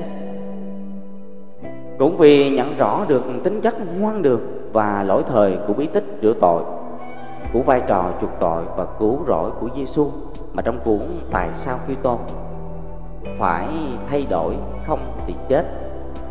Giám mục John Shelby Phong đã dành riêng chương 6 để viết về đề tài Giêsu như là đấng cứu thế, một hình ảnh cần phải dẹp bỏ. Trong chương này giám mục Phong đã viết như sau: Nhân loại chúng ta không sống trong tội lỗi, chúng ta không sinh ra trong tội lỗi, chúng ta không cần phải rửa sạch cái gì tì vết tội tổ tông trong lễ rửa tội. Chúng ta không phải là những tạo vật sa ngã mất đi sự cứu rỗi nếu chúng ta không rửa tội do đó, một đấng cứu thế có nhiệm vụ được khôi phục. Tình trạng tiền sa ngã của chúng ta chỉ là một sự mê tín trước thời đắc quyên là một sự vô nghĩa sau thời đắc quyên qua sự phân tích những bí tích ừ, truyền chức linh mục và rửa tội ở trên, chúng ta đã thấy tất cả những sự lừa dối của giáo hội trong sách lược ngu dân mê hoặc tín đồ bằng những điều hoang đường, phi lý, phi logic, phản khoa học, mâu thuẫn, vân vân. Mà con người trong thời sống hiện đại với những kiến thức của nhân loại ngày nay không thể nào chấp nhận được tất cả các bí tích của ca tô giáo đều có mặt thánh linh hay chúa thánh thần trong đó. Chúa thánh thần đã biến thành công cụ của các giám mục, linh mục, vân vân. Vì các ông này muốn sai chúa thánh thần đi đâu là chúa thánh thần phải đi đó trong lễ rửa tội, linh mục sai chúa thánh thần xuống ngự trong đứa bé. Còn đang khóc eo e nhưng rồi chúa thánh thần lại bỏ đứa bé đi đâu mất. Cho nên khi nó lớn lên, trong lễ truyền chức linh mục, cho nó giám mục lại phải sai chúa thánh thần xuống ngự trị ngự lại trong con người đó. Họ nói là cầu xin, nhưng cầu xin cái gì? Được cái nấy. Nghĩa là đóng mà các mà họ cầu xin bắt buộc phải chấp nhận và thi hành lời cầu xin đó, thì chẳng qua là một hình thức sai kiến.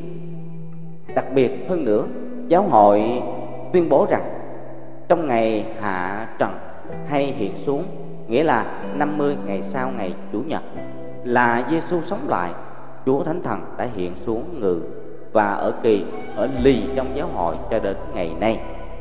Chẳng vậy mà sách giáo lý công giáo viết trang 95 Đức Thánh Chúa à, Thánh Thần, hằng ở trong giáo hội và hoạt động trong đó.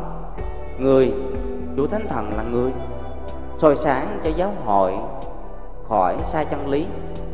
Người thánh hóa giáo hội bằng độ ơn xuống trần này vậy các tiến sĩ thần học trong giáo hội giải thích làm sao? Về cái lịch sử, chứa bảy núi tội ác của giáo hội mà giáo hoàng cùng tòa thánh mới vừa xưng thú. Trong đó có các tội ác của tập thể Cato.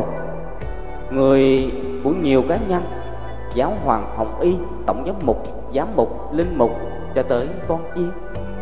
Có cách nào giải thích ngoài điều chấp nhận những tội ác này là do hoạt động của chúa thánh thần đổ ơn xuống tràn đầy? Để thánh hóa giáo hội.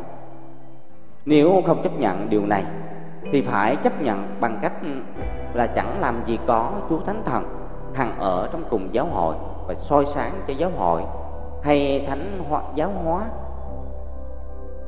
Tất cả những luận điệu thần học mà giáo hội đưa ra chỉ là sản phẩm của một số người rất thế tục với mưu đồ thống trị đầu óc con người, đằng sau cái chiêu bài thánh thần khai thác sự yếu kém tâm linh của quần chúng thông thường. Cũng vậy, cũng vì vậy mà giáo sư trần học Uta Ranker Hahnemann đã nhận ra những điều hoang đường về vai trò của Chúa Thánh Thần ngự trong giáo hội cùng hiện diện trong các bí tích và viết. Như Chúa Thánh Thần này không phải là cái tâm linh để ngự trong giáo hội hay cá nhân vì nó muốn lưu chuyện tới đâu thì tới, chứ không phải là tới chỗ mà giáo hội hay bất cứ cá nhân nào muốn nó phải tới. Do đó chúng ta có thể cho rằng giáo hội chỉ là một sản phẩm của cái tâm linh, của chính mình. Tại sao chuyện chúa thánh thần ngự xuống nơi linh mục theo lệnh truyền của giám mục và nơi con nít theo lệnh truyền của linh mục lại là những chuyện hoang đường? Bởi vì thực tế cho thấy những chuyện này không đúng như chuyện hoang đường về thánh linh giáng lâm trong thánh kinh sách giáo lý công giáo trích dẫn đoạn sau đây trong thánh kinh công vụ các sứ đồ 2 2.1 đến trang 4 Đến ngày lễ ngũ tuần, các môn đệ Chúa đều họp mặt đông đủ. Thình lình có tiếng động từ trời như luồng gió thổi mạnh vào đầy nhà. Các môn đệ thấy những chiếc lưỡi bằng lửa xuất hiện. Đầu trên đầu mỗi người, tất cả đều đầy dậy thánh linh. Mọi người bắt đầu nói một ngoại ngữ do thánh linh chỉ bảo. Thời buổi này, có ai còn có thể tin được chuyện quái gở như vậy không? Thứ nhất, tiếng động từ trên trời thì chỉ có tiếng vang Chứ làm gì có thể thổi tới, vang tới, to hay nhỏ là tùy theo cường độ của tiếng động Chứ không phải là như luồng gió mạnh thổi vào. Không có gió thì tiếng động vẫn vang. Như thường Luca, tác giả của sách công vụ các sứ đồ, không hiểu gì về khoa học nên mới viết như trên. Thứ nhì, Thánh Kinh, những lời mặc khải không thể sai lầm của God, God cha hay gót con hay gót Thánh Thần cũng vậy. Vì ba chỉ là một, cho rằng trái đất thẳng dạt như cái dĩa, không biết đến cả một nửa địa cầu. Vậy gót Thánh Thần làm sao biết được tiếng nói của các sắc dân ở phía bên kia địa cầu mà chỉ bảo tiếng nói của họ. Thứ ba, trong ngày lễ ngũ tuần, nghĩa là 50 ngày sau khi Giêsu sống lại, thì có bao nhiêu môn đồ hợp thành. Tất cả những người nghiên cứu thánh kinh ngày nay đều không đồng thuận là Giêsu không quá, không có quá 12 môn đồ. Vậy nên trên thế giới có bao nhiêu thứ tiếng khác nhau Và 12 môn đồ trên? Mỗi người phải nói bao nhiêu thứ ngoại ngữ? Trong đó có những ngoại ngữ mà chính Thánh Linh cũng không biết đến Sự hiện hữu của những ngoại ngữ này. Thật là chuyện hoang đường quá sức tưởng tượng. Thế mà vẫn có những người tin vào, Cho đó là sách giáo lý công giáo. Nhưng điều đáng nói là dấu hiệu khi Chúa Thánh Thần ngự xuống dưới dạng các lưỡi lửa trên đầu mỗi người.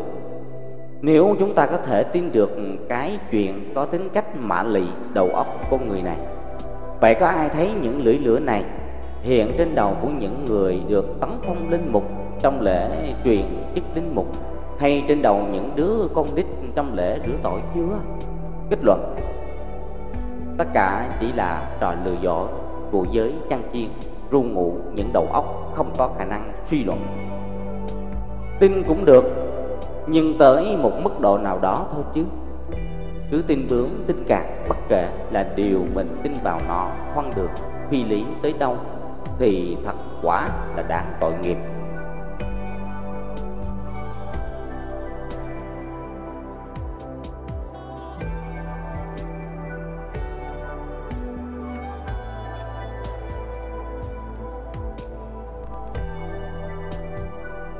Trên đây tôi đã phân tích và trình bày tất cả những hoang đường phi lý và mâu thuẫn trong những bí tích truyền chức linh mục và rửa tội.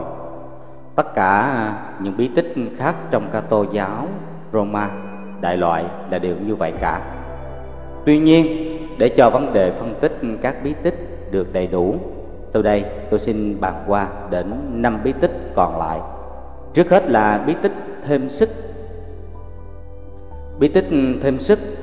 Sách giáo lý công giáo viết về bí tích hay nhiệm tích thêm sức, trang 180 đến 183 Viện dẫn một đoạn trong Thánh Kinh.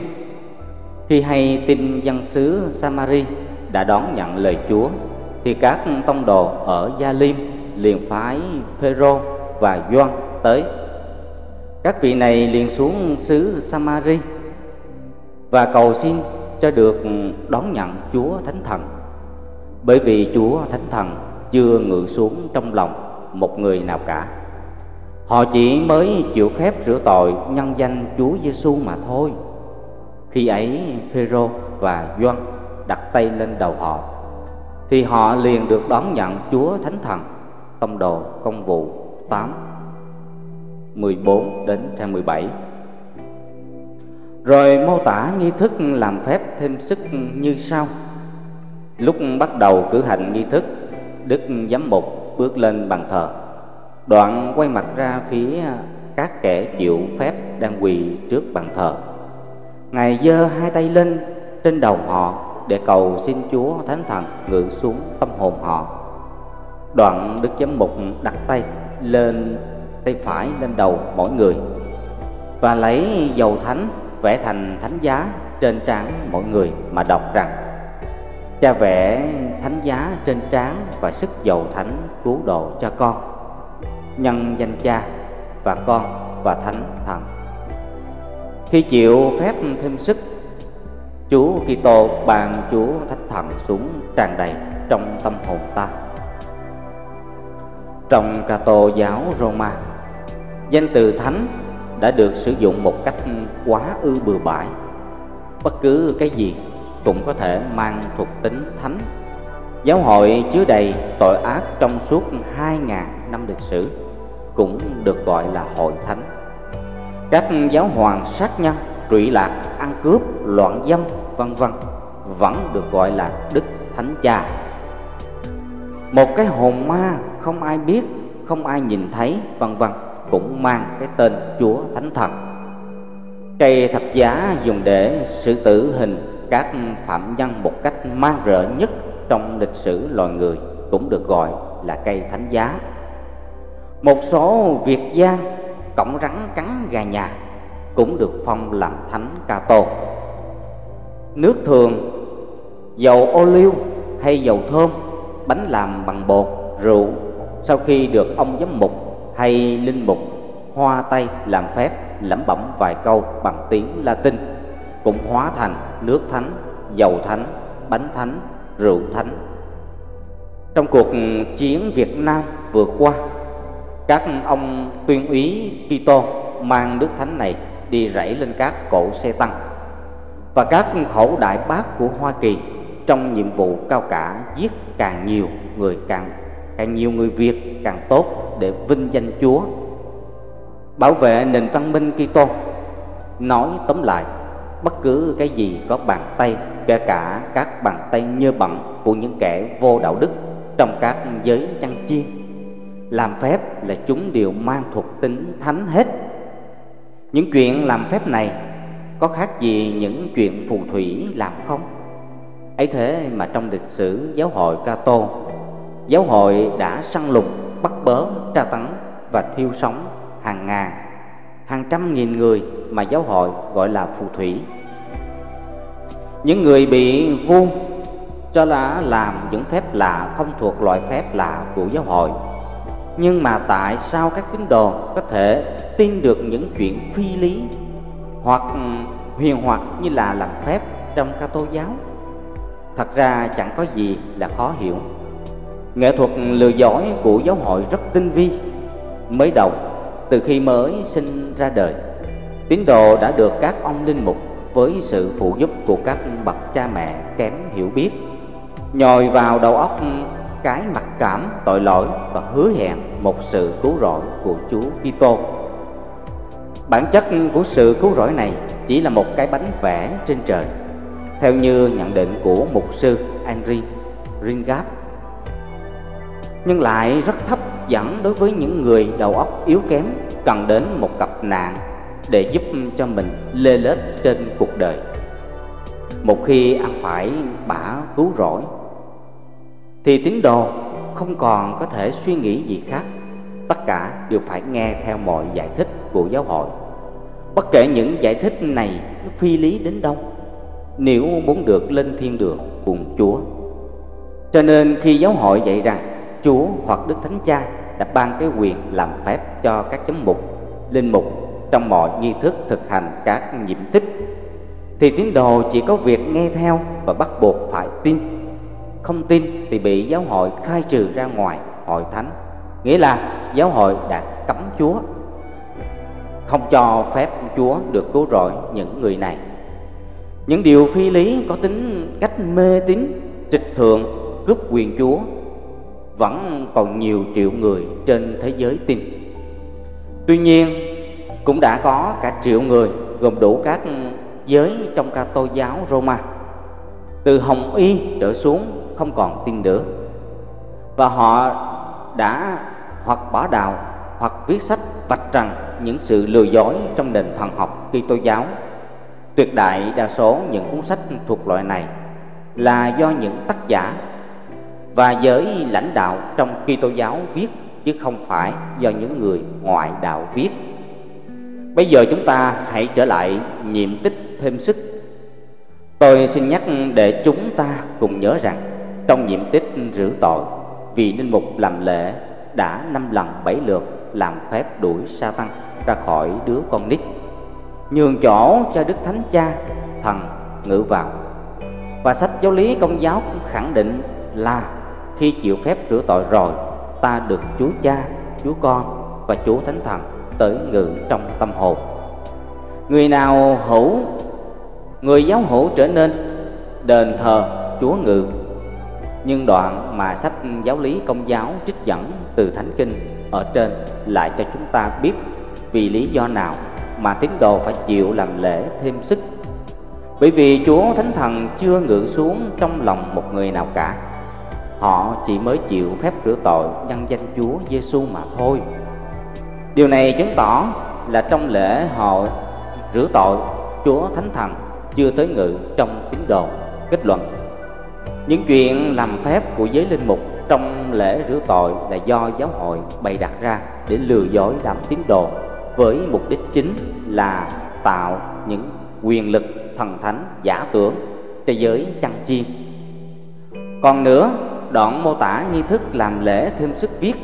Ngài đức giám mục giơ hai tay lên trên đầu để cầu xin chúa thánh thần ngự xuống tâm hồn họ. Như vậy là trong tâm hồn của đứa trẻ đã rửa tội không hề có Chúa Thánh Thần Nên đến khi 15, 16 tuổi Lúc làm lễ thêm sức Nó mới được Đức Giám Mục cầu xin Nghĩa là sai khiến. Đức Chúa Thánh Thần xuống ngự trong tâm hồn nó. Vậy lễ rửa tội hoàn toàn vô ích. Và những điều giáo hội dạy về lễ rửa tội là không thực. Nếu lễ rửa tội đã là vô ích, thì có gì bảo đảm là lễ thêm sức có ích? Và có gì bảo đảm là Chúa Thánh Thần chịu nghe theo lời sai khiến của ông giám mục xuống ngự trong tâm hồn đứa trẻ? Không có gì bảo đảm cả trái lại, nó cũng là chỉ là một luận điệu thần học lừa dối những đầu óc thấp kém vì chúng ta cũng đã biết trong nghi thức truyền thức, truyền chức linh mục, khi mà đứa trẻ sau khi chịu lễ rửa tội, rồi lễ thêm sức, lớn lên muốn làm lễ linh mục, thì lại có cảnh đức giám mục im lặng đặt tay trên đầu mỗi người sắp được phong làm linh mục và cầu xin Chúa Thánh Thần ngự xuống trên họ. Điều này chứng tỏ một cách rõ ràng là trong lễ rửa tội và lễ thêm sức, Chúa Thánh Thần không hề nghe lời sai khiến của ông giám mục xuống ngự trong đứa trẻ con nít. Và những đứa trẻ đến tuổi dậy thì Giả thử chúng ta tin vào cái chuyện hoang đường là có Chúa Thánh Thần thật và người xuống ngự trong những tín đồ thật. Thi hành lệnh cầu xin của các ông giám mục hay linh mục trong những lễ tiết như rửa tội, thêm sức và truyền chức linh mục thì những điều tôi vừa phân tích ở trên đã chứng tỏ rằng sau mỗi lễ tiết Chúa Thánh Thần lại bỏ các tín đồ đi chơi chỗ khác. Thăm người tình cũ là bà Maria chẳng hạn. Đến khi cần thì lại được mấy ông giám mục, linh mục gọi về. Về trong vài phút rồi lại bỏ đi. Cuối cùng trong người tín đồ cũng chẳng bao giờ có Chúa Thánh Thần ngự cả.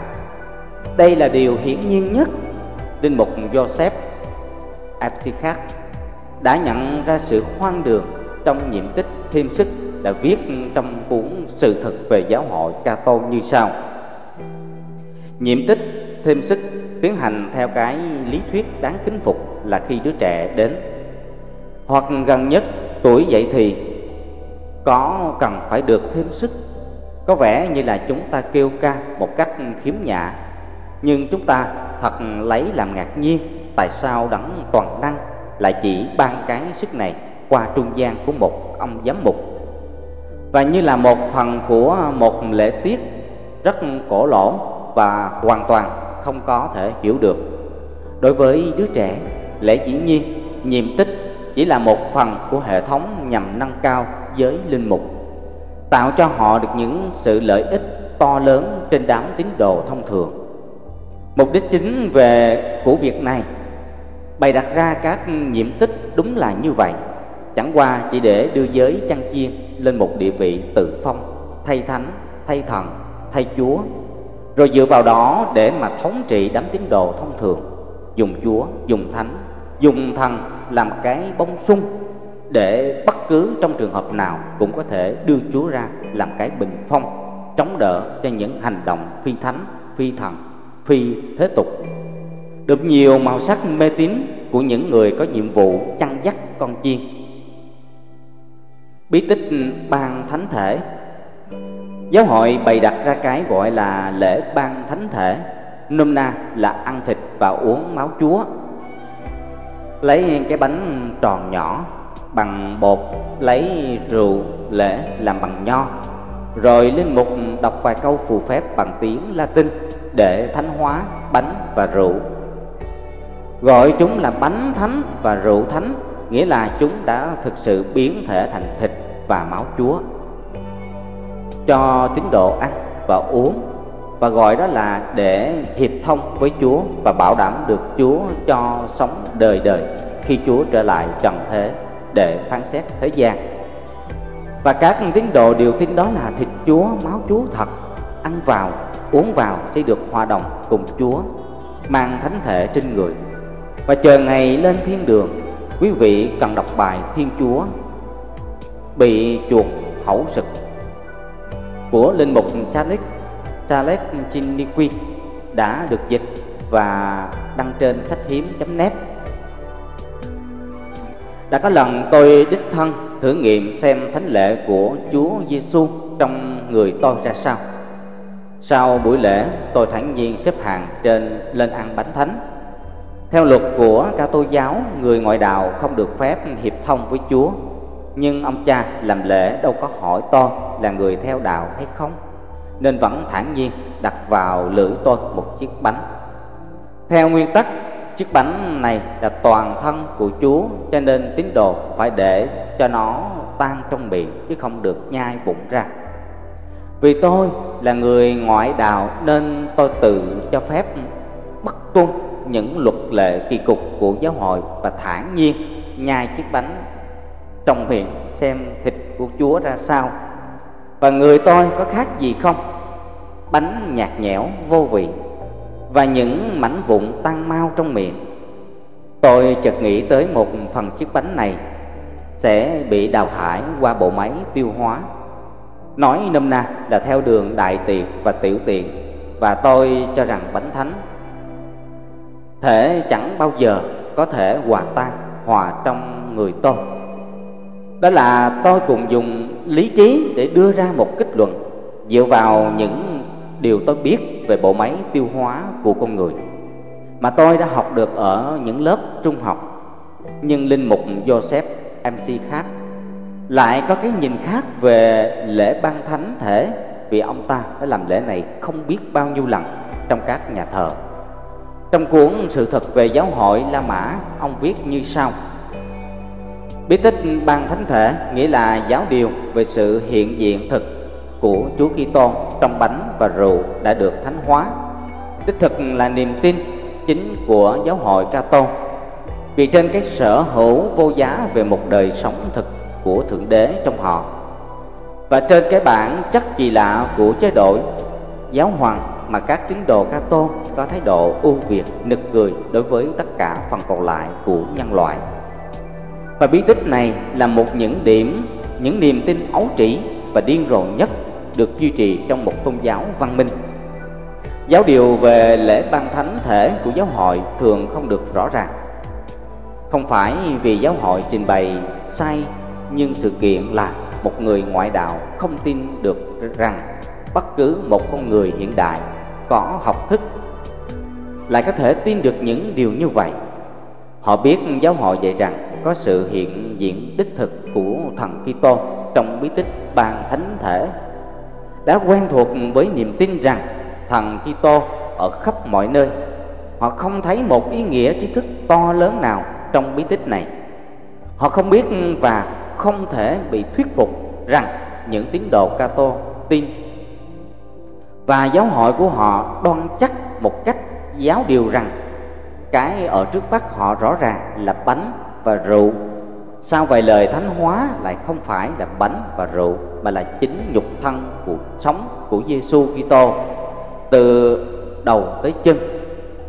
Trong buổi đầu của thời trung cổ, cũng như trong nhiều triều tín đồ Cato vô học ngày nay giáo hội không cần tới một sự giải thích nào về sự biểu hiện của bánh và rượu cũng như không cần tới một toan tính giải thích nào về tại sao nhục thân của Chúa Kitô cùng lúc trở nên thiên đường và hàng triệu nơi khác trên trái đất Đối với những đầu óc như vậy, họ có thể tin bất cứ điều gì, mọi giải thích cũng rườm rà như mọi lý luận. Thật là rất thuận tiện bằng một hoạt động siêu nhiên trong buổi lễ cái thể vô hình của bánh và rượu được thay thế bằng cái thể của nhục thân sống động của Kitô. Còn về tại sao nhục thân của Chúa Kitô có thể cùng lúc ở hàng triệu nơi khác nhau và toàn bộ nhục thân này hiện hữu trong một mẫu bánh, thì câu trả lời là hãy cúi đầu cung phục bí nhiệm của sự biến thể.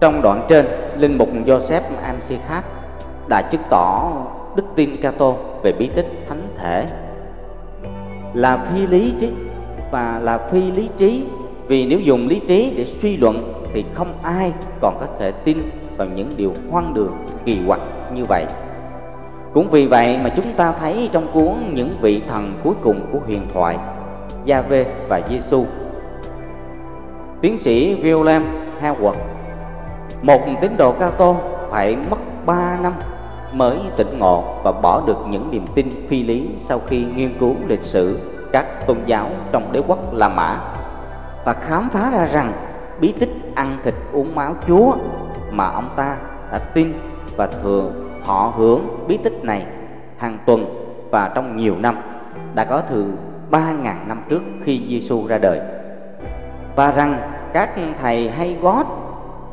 chỉ là những chuyện tưởng tượng, y như những chuyện thần tiên kể cho trẻ con. Học giả Henry Guillemin cho biết bí tích này là một trò ảo thuật của giáo hội. Bày đặt ra và viết trong cuốn Cái giáo hội khốn nạn. Như sau. Bằng vài lời lẩm bẩm, giáo hội gài vào trong một mẫu bánh thân thể thân thể thực sự bằng xương, bằng thịt của Giêsu Kitô để cho tín đồ dùng qua đường ăn uống. Tác giả muốn nói đến bí tích ban thánh thể. Bàn về bí tích ban thánh thể, David Hume, một triết gia nổi tiếng của Tô Cách Lan phát biểu như sau.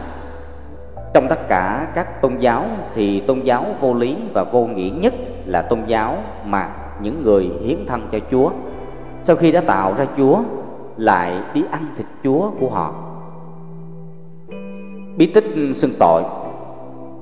Giáo hội dạy rằng, bắt đầu từ 7 tuổi, các con chiên phải đi xưng tội.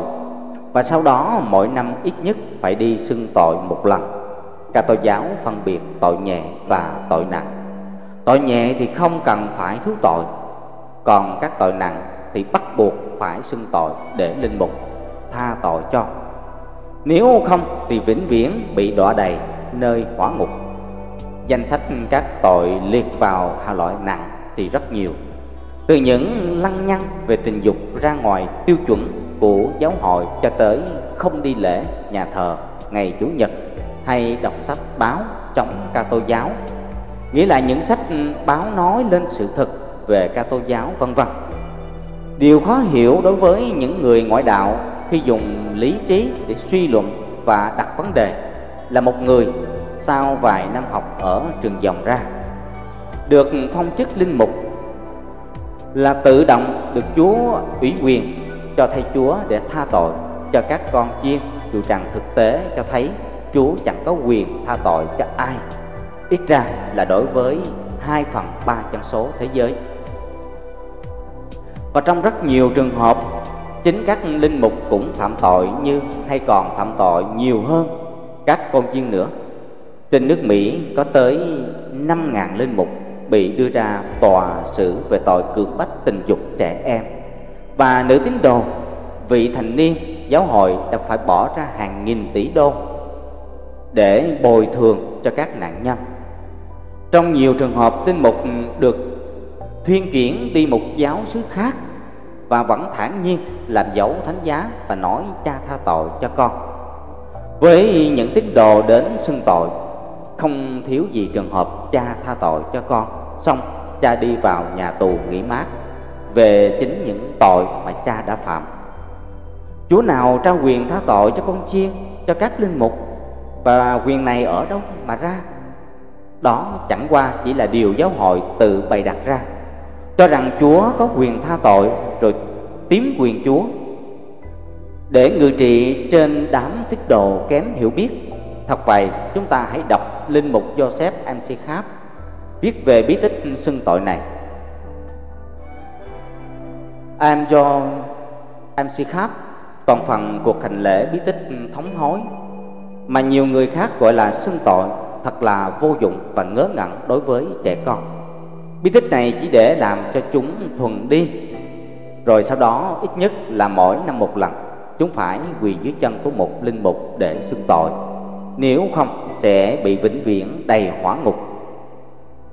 Thật là hiển nhiên, bí tích này cũng như bí tích hôn phối được tạo ra với mục đích chính là kiểm soát hoàn toàn con chiên. Sau vài lời cổ võ tôi làm dấu chữ thập với tính cách ma thuật và nhắc lại cái công đức trang nghiêm tha tội. Cha không phải là chúa tha tội cho con, mà là ta tha tội cho con. Bí tích thú tội chắc sẽ giúp một số người, nhưng lại đại để hạ thấp những người khác. Nó chỉ là một sự cần thiết, đau khổ, vô thưởng, vô phạt đối với tuyệt đại đa số. Cái tính chất tai hại của nó là sự ngu đần, khó tin được nó được chính thức bày đặt ra trong thế kỷ thứ 13 như là một điều giáo, một giáo điều bắt buộc bởi các linh mục muốn kiểm soát hoàn toàn Âu Châu mà tín đồ Cato tin như là Chúa đặt ra. Cái ý nghĩa chủ yếu của nó, quyền tha tội của linh mục trẻ đã được thoa dầu thật là vô thô thiển, nó chẳng phải là những như là một số người ngoại đạo nhiều tình cảm, đôi khi tưởng. Một phương cách tốt để cổ suý đạo đức Linh mục MS MC Lâu Liên. Trong cuốn Tội ác và vô luân trong giáo hội Cato đã viết về bí tích cách xưng tội trong chương 14 như sau. Xưng tội bước đầu tiên trong sự nô lệ hóa đầu óc con người. Mặc dù những lời long trọng tuyên bố cam đoan của giáo hội Cato rằng giáo hội là giáo hội duy nhất do Chúa thành lập, rằng giáo hội là hội thánh có thể và đích thực tạo sự thánh thiện trong những tín đồ, giáo hội Cato Roma trong quá khứ đã thất bại trong việc nâng cao, ngẩng cao đầu ngọn cờ đạo đức. Và trong thời đại này của chúng ta, giáo hội tiếp tục chứa chấp, che giấu nhiều người phạm tội trọng và nhiều kẻ tội lỗi hơn là các giáo hội khác, hơn cả đám người không theo tôn giáo nào một sự giải thích có ý nghĩa về phần lớn những sự phạm tội của tín đồ Cato Roma nằm ngay trong cấu trúc của đạo Cato. Quy tắc ứng xử của giáo hội được xây dựng trên những lễ tiêu tiết và sự mê tín hơn là trên ý niệm tôn giáo chân thật. Đạo đức theo lý trí tự học và tự kiểm điểm. Cái lễ tiết quan trọng nhất để kiểm soát và phục hồi cách ứng xử tín đồ đó là lễ xưng tội, còn được gọi là nhiệm tích thống hối. Nó là một đỉnh của sự mê tín trong cái túi chứa những đồ lừa bịp và bù phép của giáo hội từ nhiều thế kỷ. Lễ tiết xưng tội là một sự mê tín mà từ điển website đã định nghĩa như sau. Thái độ. Một thái độ phi lý khốn cùng của đầu óc hướng về siêu nhiên, thiên nhiên hoặc thiên chúa bắt nguồn từ vô minh. Từ sự sợ hãi phi lý, cái nhìn không biết hay không hiểu, một sự thận trọng bệnh hoạn, một niềm tin vào ảo thuật hoặc may mắn vào sự hướng dẫn hoặc dẫn giải về thiên nhiên sai lầm của tôn giáo vô ngộ. Bất cứ niềm tin quan điểm thành hành động hay sự thật nào phát xuất từ một tâm cảnh như trên, một ý tưởng phi lý cố định, một khái niệm được duy trì, mặc dù có những bằng chứng đối ngược. Thật là bất hạnh do những tín đồ ca tô sùng tín vì định nghĩa này áp dụng quá đúng cho cái mà chúng ta được dạy là một bí tích được Chúa Kitô thành lập để làm sạch hoàn toàn những linh hồn. Tội lỗi và khôi phục chúng về trạng thái được ân huệ có nằm trong chăn mới biết chăn nó có rận không biết ừ, rõ đạo mình hơn những người ở trong đạo và nhận ra. Thực chất của nhiễm tích xưng tội, linh mục Joseph Amsikhap và linh mục Ahmed Amsilauli là người ở trong giáo hội lâu năm và đã làm lễ xưng tội cho không biết bao nhiêu tín đồ ca tôn nhận định của họ có thể nghi ngờ vì mục đích viết sách của họ là để vạch trần những mê tín dị đoan, phi lý trong giáo hội, chứ không phải là để phỉ bán đạo Kitô.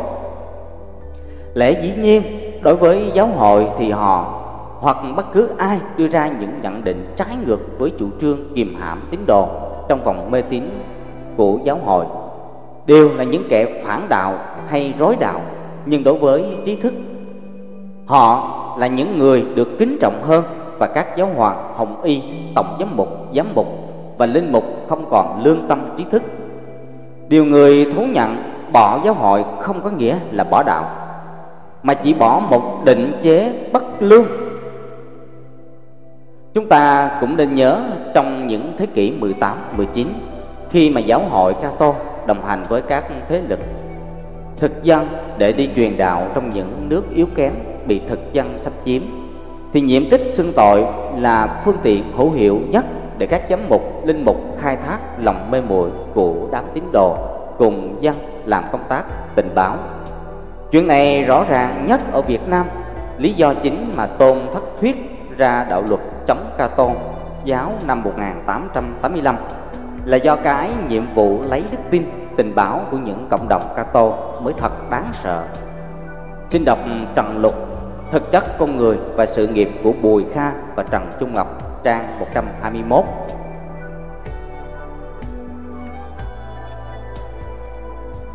Bí tích ừ, hôn phối. Về hai bí tích sau cùng, Bí tích ừ, hôn phối và bí tích ừ, sức dầu cho người bệnh hay sắp chết, Không có gì đáng nói nhiều. Tuy nhiên, chúng ta cũng nên đọc vài câu trong sách giáo lý công giáo về hai bí tích này để rồi nhìn vào thực tế xem nó thế nào. Sách viết trang 232, 233. Chúa Kitô bởi sự chết của người đã khiến cho hôn nhân trở nên thánh. Đây là thánh hôn chứ không phải là thánh thành hôn. Và là nguồn mạch cách ơn Chúa đã nâng hôn nhân lên hàng các nhiệm tích hôn nhân công giáo là hình ảnh cuộc phối hợp đầy ân giữa Chúa Kitô và bạn đời là giáo hội.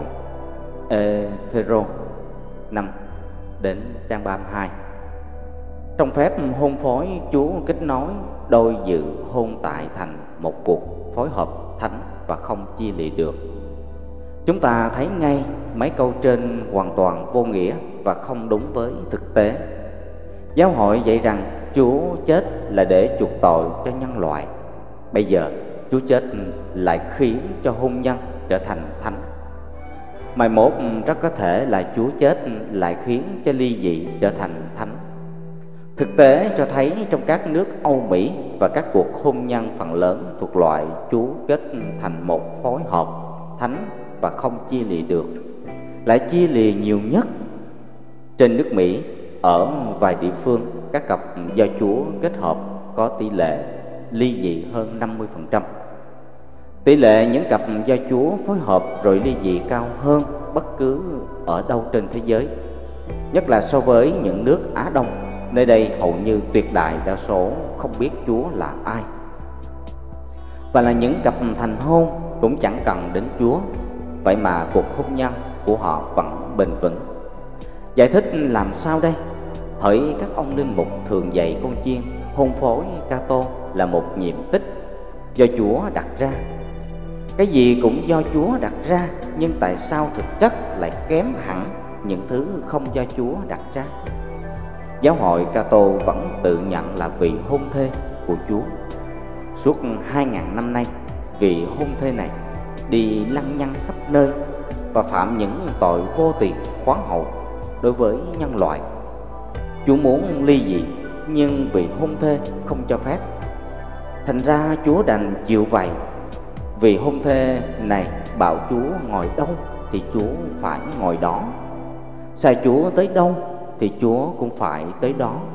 Muốn Chúa làm những gì Chúa cũng phải làm cái đó. Chẳng thể nào mà cái giáo hội bảo Chúa thành lập giáo hội, Chúa cũng phải thành lập. Dù rằng trong Thánh Kinh đã viết rõ rằng Chúa không bao giờ có ý định lập giáo hội. Rồi giáo hội bắt Chúa phải trao chức đại diện Chúa cho Phêrô. Tuy trong Thánh Kinh Chúa đã gọi Phêrô là sa tăng Và Phêrô đã ba lần chối Chúa Để rồi các giáo hoàng tự nhận là kế thừa Phêrô.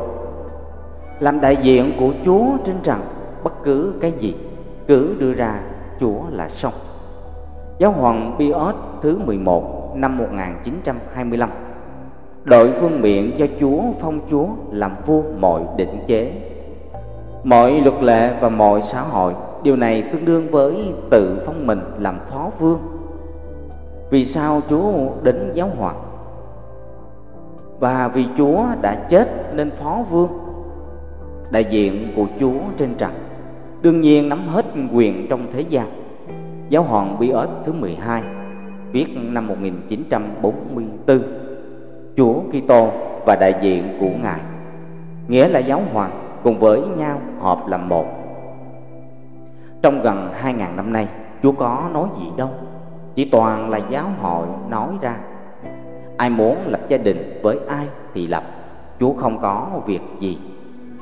Làm khác hơi hay sao? Chẳng hạn như tạo chỉ một ngày trên thế giới không có chiến tranh Bắn giết lẫn nhau Mà lại đi quan tâm đến việc Hai người sắp sửa được ngủ với nhau hơn nữa mỗi ngày, mỗi phút trên thế giới có biết bao nhiêu tín đồ Kitô lập gia đình. Chúa ở đâu mà đi khắp nơi để mà kết hợp cùng lúc bao nhiêu cặp để cho thành một sự phối hợp thánh và không thể chia lì được. Linh mục Joseph MC khác viết về bí tích hôn phối như sau trong cuốn Sự thật về giáo hội Ca-tô Bí tích hôn phối không cần phải thảo luận nhiều trong ít nhất là 6 thế kỷ sau từ sự thành lập của Kitô giáo. Giáo dân cương quyết từ chối không cho linh mục làm phép cưới và họ tự do thực thi quyền ly dị. Khái niệm về một sự thành lập tích cách thần thánh cho bí tích này là một tác phẩm táo bạo, tuyệt diệu. Đó chính là những người như Heldebrand đã hoàn thành thành công tác phẩm nô lệ hóa quần chúng trong tay linh mục. Những vị này sau cùng đã bảo đảm sự kiểm soát hoàn toàn của giáo hội trong vấn đề hôn phối. Vì nó là một bí tích nên mọi hôn phối mới ngày này không thể hủy bỏ được. Và vấn đề đạo đức trong những quốc gia mà giáo hội tiếp tục chống sự hủy bỏ những cuộc hôn nhân cơm chẳng lành, chăn canh chẳng ngọt. Đã nói lên cái lịch sử của nó tất cả vấn đề chỉ là một phần trong quyết tâm của giới linh mục với mục đích thống trị và thu lệ phí. Bí tích sức dầu. Sách giáo lý công giáo viết trang 224 Chúa Kitô là bạn các bệnh nhân đã đến giúp đỡ ta trong nhiệm tích sức giàu bệnh nhân. Thánh Gia-cô-bê tông đồ viết, nếu ai trong anh em bị đau yếu Thì phải lo mời các linh mục trong giáo hội tới, Để các ngài sức dầu nhân danh Chúa Kitô Và cầu nguyện cho bệnh nhân. Khi nguyện đức tin sẽ được cứu thoát bệnh nhân Và Chúa sẽ nâng đỡ họ Nếu họ có tội thì cũng được tha thứ Lời thánh Jacobe tông đồ chứng tỏ ngay từ thời các tông đồ đã có làm phép sức dầu bệnh nhân mà các ngài chỉ định làm như vậy là bởi Chúa đã làm phép này. Đoạn trên rõ ràng là một tác phẩm ngụy tạo của giáo hội nhét vào thánh kinh, không ngoài mục đích tạo thêm quyền lực thần thánh hoang đường cho giới linh mục. Chúng ta đã biết thời các tông đồ không làm gì có giáo hội và linh mục. Thời đó Giêsu chỉ có 12 tông đồ và tất cả đều bỏ trốn trong ngày Chúa bị đóng đinh trên thập giá vì sợ và lay.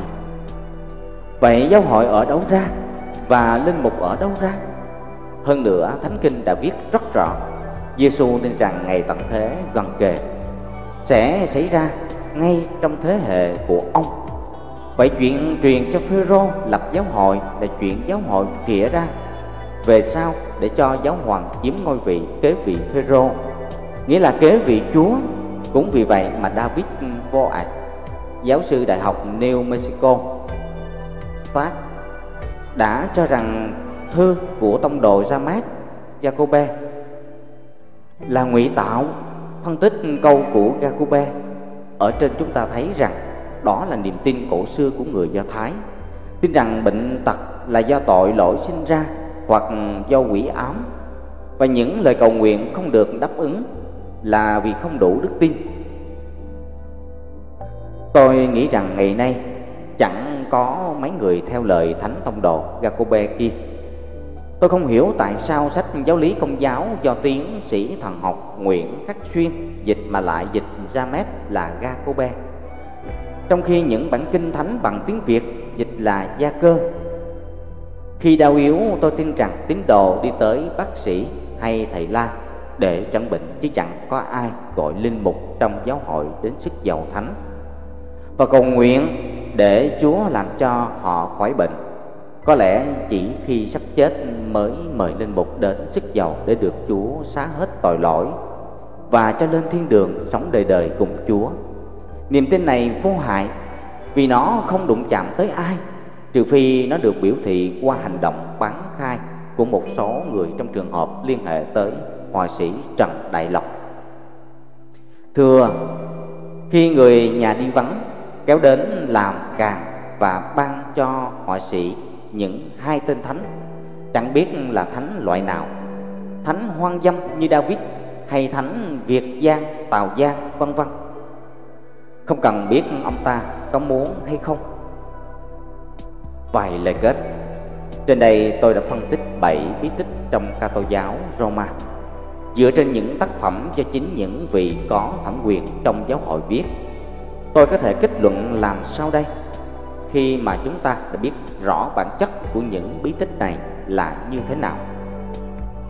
Thôi thì lại nhường lời cho mấy linh mục và học giả Cato vậy linh mục rất lắc Vergana có bàn về các cách bí tích trong Cato Roma, trong cuốn Tại sao tôi bỏ giáo hội Roma? Sau đây là một đoạn điển hình. Điểm quan trọng là phải đọc đúng, Không được sai lầm. Một linh mục có thể đọc lên công thức thuộc loại bí tích này mà không cần hiểu nó. Và ngay cả không cần phải tin nó nhưng để cho ảo thuật vận hành Ông ta phải làm cái gì mà giáo hội làm? Tuy nhiên nếu ông ta nói sai một chữ Thì bí tích sẽ không có tác dụng gì cả. Theo nguyên tắc cái tinh thần của câu Vừng ơi hãy mở cửa đi. Ví như câu làm phép của giới linh mục với câu phù phép trong chuyện Alibaba và những tên ăn trộm, ăn cướp không thể thay đổi. Những bí tích không những chỉ vô lý mà còn có tính cách phỉ báng. Rabelais đã chẳng nói, tôi gọi đó là nhạo bán gót Tôi còn cho rằng tất cả lòng bộ đảo Cato chỉ là tập hợp những trò lừa bịp và cách thức để biến đổi linh mục thành một tên lang băm và tín đồ thành kẻ đoàn độn. Linh mục biết rõ sự đần độn của con người là vô tận. Họ khai thác điểm này. Học giả Cato Joseph Taledin sau khi nghiên cứu về những niềm tin trong dân gian cổ xưa đã viết trong cuốn Sự mê tín cuối cùng như sau: đã có một thời tôi tin vào cái tục lệ sơ khai mà Cicero đã viết trong thế kỷ thứ nhất trước thời đại thông thường, thật lâu trước khi Kitô giáo thực hành tục lệ này. Làm sao mà một người có thể đần độn đến độ có thể tưởng tượng được rằng cái mình ăn đúng là Thiên Chúa? Điều biện bạch duy nhất của tôi là, đó là trước khi tôi phát triển khả năng suy lý mà ngày nay tôi có hơn nữa, tôi không có cách nào để biết rằng vì nền giáo dục đặc biệt Cato những nhà nhân chủng học và các sử gia đã truy nguyên ra rằng sự thực hành cái lễ tiết ăn thịt thần đã là tín ngưỡng của con người trong buổi sơ khai. tin rằng mình có thể có những được uy lực của những vật mà mình ăn. Sau cùng, tôi đã bị lừa bởi trò biệp trong ngôn ngữ. Học rất thịnh hành trong bộ môn giả khoa học là siêu hình học. Từ biến thể trong lễ ban thánh thể cho rằng bánh và rượu sẽ biến thành thịt và máu Chúa do sự phù phép của linh mục Trần Trung Ngọc gây nên sự phá khá kinh sợ cho những đầu óc chất phát trừ phi khi trừ từ này lại cho một người có thẩm quyền như một linh mục mô tả tại sao bánh và rượu có thể đổi cái thể mà không thể đổi tính chất, thì rất dễ làm cho người ta tin. Hơn nữa, ai mà chẳng thích trò ảo thuật, nó chắc chắn là hấp dẫn hơn là đi đào sâu vào triết lý thực nghiệm của David Homer hay sự phân tích sạc sắc sảo của Louis Fondorbat chính là hai người này đã là những người đầu tiên vạch rõ điều hiển nhiên như sau. Cho rằng một vật thể hiện hữu mà không có thuộc tính tính chất, thì cũng ngớ ngẩn như là cho rằng ngược lại, nghĩa là có tính chất mà không có thể. Hãy chỉ cho tôi một cái không có gì mà lại dài hoặc không có gì mà lại xanh hay cứng. Do đó không có những vật thể hiện hữu riêng biệt nào có thể biến thể một cách có tính cách ảo thuật. Tác giả viết đoạn này quá ngắn gọn nên hơi khó hiểu. Vấn đề tác giả muốn nói là bánh và rượu có những tính chất riêng của nó. Thí dụ như bánh thánh thì có vị của bột, rượu thì có vị ngọt hoặc hơi chát của rượu. Tín đồ ăn bánh và uống rượu chỉ thấy vị tính chất của bánh và rượu, chứ không thấy vị của thịt và máu chúa. Cho nên chuyện biến thể là chuyện không tưởng, trần trung ngọc một lần nữa, các nhà thần học đã thành công trong việc làm mê mẩn đầu óc con người bằng những từ vô nghĩa. Tất cả những bí tích giống như những ngày lễ biểu tượng của Kitô giáo chỉ là những toan tính đơn giản để thích nghi với những tín ngưỡng dân gian. Đối với những người không có thiên kiến, có đầu óc suy lý, thì chúng ta có tràn ngập những bằng chứng để đi tới kết luận này. Sau khi luận về sáu bí tích, trước khi phân tích chi tiết về bí tích xưng tội, linh mục Joseph Amsikhap đã đưa ra nhận xét châm biếm sau đây.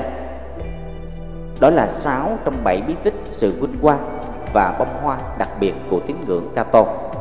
Hệ thống tỉ mỉ nhất về ảo thuật mà xưa nay chưa hề có một tôn giáo văn minh nào phát minh ra được.